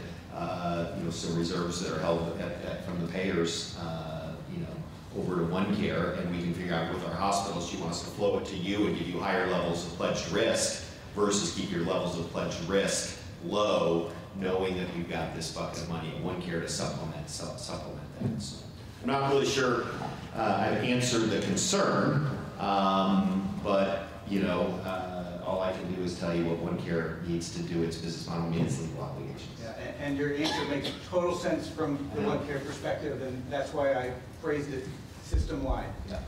Um, I don't know that the mic is working, so I hope people can hear me. Um, Speak loudly, we can yeah. hear you, but I'm not sure if people in the back of the room can. um, talk about AHPs for a minute and whether uh, there's a, uh, uh, was an offer to uh, have AHPs participate in uh, OneCare, whether there was discussions with Blue Cross about that. We did talk to Blue Cross, um, we did talk to Blue Cross about that, and they were going to lump that into their large group market. And that's a market that has, again, a lot of volatility. And we offered to do a one-year, uh, do a multi-year contract, but have no downside risk the first year, so we could get into the model, see how that population differs from what we have now, know how we might model the target. Um, that was unacceptable for 2019. And I think also given that we really needed to focus efforts on the QHP, since that's a, a plan that we already participate in, and making sure we can come to terms, we just decided to focus efforts there. We're open to doing that in the future, though, yeah. Okay. Absolutely. And then I think lastly for me, um, this, this also goes to a high-level question. Um, If OneCare um, works with self-employed insured, I'm sorry, uh, self-insured groups and uh, takes on or manages uh, some of the risk for them, I, I just become, a- have a very basic question of, at what point does an ACO start to look like an insurer? Yeah, that- that- You know, that, that's a great question. Almost by definition, self-funded accounts are, employer bears 100% of the risk for the claim spend, and it's a fee-for-service model, right? And that's part of the reason why it's really, really challenging to gain inroads in that market, because they've got to agree to do something different. You know, we have one potential contract with a carrier that 10 years ago started to include some sort of sharing of of outcomes and affordability and quality uh, in their contracts that if they're willing to share with us, uh, that could qualify for, for scale targets and, and, and share it with us. Uh, but, but you're exactly right. Now, the one thing that, you know, uh, these self-funded employers do want to do is they still want to be fully compliant with the ERISA law and be uh, subject to the advantages and protections of that, including tax deductibility. Uh, But there are, there's a long, well-trodden path of how to bring value-based models into that, still consistent with the ERISA law. Uh, The hardest part is convincing the employers and the brokers and the HR departments and the CFOs that it's worth doing something more complex than just saying fee for service. And, you know, the reason why they are doubly tempted to do that is all the stuff we're doing for these 170,000 lives that we've invested in Vermont, in Vermont seem to be working, right? And so it'd be really easy for them to be free riders and say, oh yeah, we'll just write our fee-for-service bank account claims because the growth rate seems to be pretty reasonable compared to what it was five years ago, and certainly better than it was 10 years ago. So they don't, they aren't feeling as much as the burning platform on affordability as, as they, as they were. Uh, and so that's going to be, you know, the tough nut to crack is, is convince them that they really need to inoculate themselves going forward from returning to that you know, but really, you know, how do we get them to pay their share against this uh, and contribute their lives into what we all agree is the real promise of this is using, you know, having an informatics-driven healthcare system with a population health management approach where we've got a great game plan for everybody uh, that keeps them healthy and happy, productive, and yeah, that's going to yield uh, a sustainable low growth rate for healthcare services. Thank you. I- I'd also add, if you look on slide 42, uh, the risk-sharing corridor is much lower in the, in the self-funded program. And that's because we need to have at least 30% to qualify for scale target. So we're keeping the risk corridors low, keeping the risk sharing at that maximum 30, because we want to qualify for scale targets. And so that's really the conversation we've had, try to minimize our risk, you know, we're not trying to take over the world, but still have them qualify. So that's a balance we have to consider when we're doing this too. But that's why you'll notice it has a net 1.8% risk. Thank you. Julia has a question or two. Um, so we talked a little bit already about how the commercial growth rate is higher than the um, aggregate target of 3.5 percent, um, and CAB of 3.5 percent. And I wonder if you can just speak a little bit to um, whether you believe that growth target for the commercial and self-funded payers is um, sustainable in terms of providers' ability to pay. Yeah, um, my personal opinion is something probably has to give, that, that we can't afford five, six percent increases for, forever, it has to be affordable. However, um, we also need to make sure that there's a healthcare delivery system that's available when people need it. And, and really having been in the room for some of the conversations with CMS around the 3.5% growth rate, you know, the concern three years ago was, wow, is that too low? I mean, the all-payer model agreement actually allows us to go up to 4.3, it was targeting 3.5 uh, overall. And really their concern was to try to grow a statewide healthcare delivery system at general inflation uh, has probably never happened since the Medicare Act in 1964 on a statewide basis. Um, healthcare inflation's natural growth rate has been high. Some of it has been the incentives of a volume-based reward system, but some of it is just there's been a high degree of growth in technology, you know, pharmaceutical technology, biotechnology, uh, electronic health records, uh, quality improvement uh, uh, efforts, um, you know, much higher skilled labor uh, in, in healthcare uh, than an average industry that is very mobile and has very transferable skills. And so, so a lot of reasons that you convince yourself the natural rate of healthcare as an industry compared to other industries, you would expect to be higher than general inflation. And so the idea was we don't want to cut muscle from the system uh, uh, as we try to live in this growth rate. So that's the reason why we set course for this 3.5%, felt like the right balance uh, of it. You know, underneath the covers, does it somewhat codify the cost shift? Yeah, because Medicare made their deal on what they're going to contribute. It's the national rate of growth uh, minus the 0.2 per 0.2%. Um, uh, you know, Medicaid, like I said, there's a lot of discussions in terms of this could be bad if Medicaid doesn't try to get as close to the 3.5% as it could. Uh, but we all know the challenges of the Vermont state budget uh, make that extremely, extremely hard to anticipate. And so we back into a bit of, of a commercial increase that keeps us in the ballpark. Uh, like I said, at least the way we do the math, uh, you know, we think we didn't even, you know, we didn't ask for on our PMPM for our commercial all the way up to what we think would be a 3, consistent with a statewide 3.5%. Uh, so we're trying to do our, our, best ability to offer as much value as possible and live within a growth rate that we can keep providers at the table uh, and tell them that these are fair, fair business models for them. So in follow-up to that, do you see your model as um, making the cost shift worse or better or staying the same as it would have been without Well, I think having lower utilization, keeping people healthy, delivering care in lower cost settings that are model and structure, uh, both, both you know, in sense and, and designs processes to do, can only help. Um, I do believe the state now has made a great deal on Medicare. Uh, that, you know, if we didn't have OneCare willing to say yes to the Vermont Medicare ACO initiative uh, and its building in the blueprint for health uh, sustainability, uh, and, and our ability to have a rate of growth that seems to be, at least right now, in excess of what the rate of growth we can deliver as a system for the attributed lives it is, uh, you know, um, that I think we're in a much better place than if we would have, would have had to decide how do we want to sustain blueprint investments if we believe in them. That would have fallen probably to the commercial payers as being one place to get it. So you mentioned um, that in the model you're held harmless if Medicaid rates do rise. Um, so if, if that were to happen, would you anticipate like a relief of uh, pressure on the commercial side, or would you anticipate just a higher overall?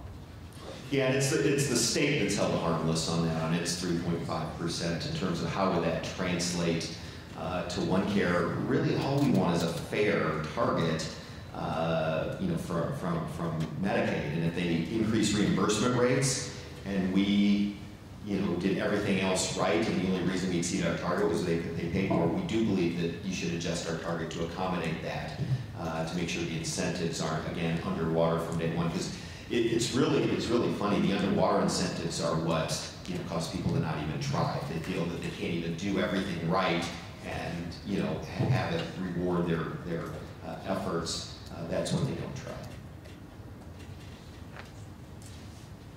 Um, can you speak to what the implications are of the way that the all-payer model calculates the 3.5% trend as compared to the methodology that you presented on slide 21? Um, so we're concerned that the growing Medicaid population with its low growth rate could result in an increased cost shift on consumers who buy commercial insurance based on how the all-payer model 3.5%. Yeah, so I, I think the adjustments that we made and the way that we developed slide 21 is intended to adjust for where the growth by payer program happens. So if we're seeing more lives increase in Medicaid, it actually looks like our blended PMPM is going down because we said more of the lower cost uh, people in there. So the, the intent of slide 21 was to level the playing field and say, if we had the same payer mix, here's what true blended growth rate would be. In terms of how that translates into the Vermont all-payer model, we did that supplemental exercise. It wasn't a slide here, but we applied our trends to the payer mix of the state of Vermont to say if everyone had the same trend rates in the state, here's what this would look like on the macro level. It came out at 3.0%. That was an encouraging sign um, to say that if, if this model scaled statewide, uh, this is what it would look like. I think doing those two separate things are important. Um, yeah, we could see some shift in payer mix statewide, meaning more Medicaid patients driven by economic factors uh, or just overall uh, economic growth. What's in the ACO is just much more dynamic. We get the community that comes in Medicaid only. We're going to see a, much steeper growth rate in that program than the state would see. So reconciling those two to do a very clean analysis, I think is an important, important step. Um, And then, so in follow-up to that, it's, it's been an understanding that the uh, 3.5 target statewide is meant to cover the entire population. Um, So if OneCare is managing to that target while excluding some of the expensive populations like newborns to mitigate risk, um, wouldn't that cause um, the overall rate to to be higher? Yeah, and, and, you know, we, we looked at, when we did our analysis uh, for the statewide, we looked at the scale target report that the Mountain Care Board developed that, that said there's 550,000 Vermonters eligible for scale target measurement. And, you know, actually broke it down into insured, self-insured, Medicare and Medicaid populations. There's also a Medicare Advantage, uh, small segment uh, as, as, uh, as well. But really, that's part of the challenge of, you know, trying to regulate our population and give us a fair target. You've got to sort of understand, you know, is the population we have relatively higher or lower risk? So uh, uh, in Medicaid, it could be lower risk because we don't absorb some of those expenses for, for uh, the newborns um, in our model. Uh, and really, the reason we exclude that is more volatility than it is that the spending is not there, right? It just is, if there's 10 more uh, newborns that we have to have to cover, you know, who bears that risk? And certainly, if it happens and it's sustained, that would be a higher growth rate outside of the ACO. But uh, you know, your, your your point is well taken, and, and that is part of the challenge of you know trying to regulate us as a subset consistent with the whole system needs to grow at the 3.5%. That's exactly the challenge that we've been talking about time and time again. So, Thank you. Uh, We have a few additional uh, follow-up questions that are more technical in nature, so if it's okay with you, I'll submit those in writing rather than taking more of the hearing time today. yeah, we'll, look- we'll, we look forward to it. We've gotten really good at uh, quickly uh, answering responses to, to questions from the board and the healthcare advocates. So Thank you. Glad to. Thank you, Julie and Mike. Um, Appreciate the efficiency. At this point, we're going to open it up to the public for comments. Susan? Uh, Susan Aronoff from the Vermont Developmental Disabilities Council, and this is really a comment question for the board. OneCare in its presentation referred to their quality performance for 2017, and they referred, referred to a score that I think we're all going to be hearing a lot about. This is about my third time hearing it. They received 85%. It's really important to know that they received, for that 85%, 40% of the reporting measures, four out of 10 of their reporting measures, had no national benchmarks. So they could have gotten zero points for that. They could have been reporting measures. They could have gotten one point, but someone, whoever contracted with them, said, if there's not a national benchmark, you don't get full credit. So 40% of that 85% was them getting full credit on nothing.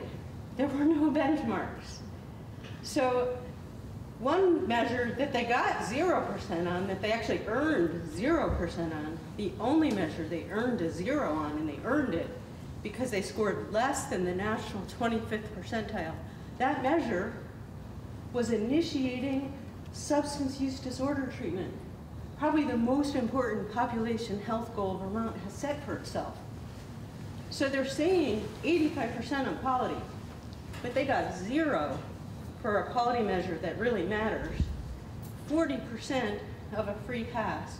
And you guys are at a disadvantage because you're considering this material about their quality performance and their Medicare performance and the quadrant, the scatter dots.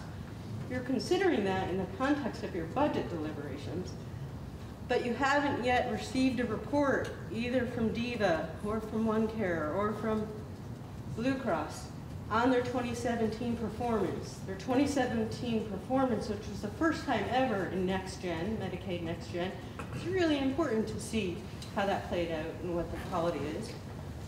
2017, they were still in sort of shared savings with Medicare. They have some data up there. If you go to the Medicare website, there's no data out yet publicly for 2017. So my request, plea, something for the board, is to schedule soon, but before you vote on their budget, a full airing of their performance for 2017. The report on the 2017 shared savings was really late on DVHA's end. It was going to be in June, then August, then September. It's out now, and it's being shown around some places. It, part of it was presented at the MEAB, but interestingly enough, when Alicia Cooper from DVHA and Tyler Gothier from OneCare presented at MEAB on that quality slide, that was in August, those materials were not posted until today. And they were only posted, Connor, you'll appreciate this, they were only posted because I've sent, I don't know, six emails and was at the MEAB retreat on Monday saying, could you please post these materials? I'm usually using that slide in a presentation tomorrow and wanted to have a publicly available, publicly citable source for it. So between DVHA contracting on very favorable terms with one OneCare and the Green Mountain Care Board not hearing the results, I feel like the two entities that are supposed to be regulating one OneCare are still very much seem to be either promoting it, supporting it, anyway, not holding it accountable, not reviewing its quality information. So if that information is going to be in the budget presentation, which I sort of question why it is, but it's in there, I think it really deserves a full hearing here. So I appreciate your comments very much, Susan, because uh, the thing that keeps me up the most at night is worrying about how we're going to meet the uh, goals when it relates to um, suicide and um, overdose. So I think you really nailed that one pretty good. I think the board hears your comments and will take that to heart. Are there other members of the public who wish to comment?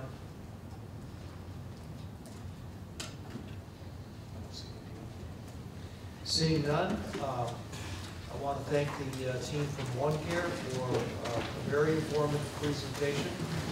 And uh, we, you know, we- we keep moving forward in this grand uh, experiment to try to uh, transform healthcare. And uh, uh, I thank you for what you're doing each and every day to uh, try to make this happen. Thank you, Mr. Chairman.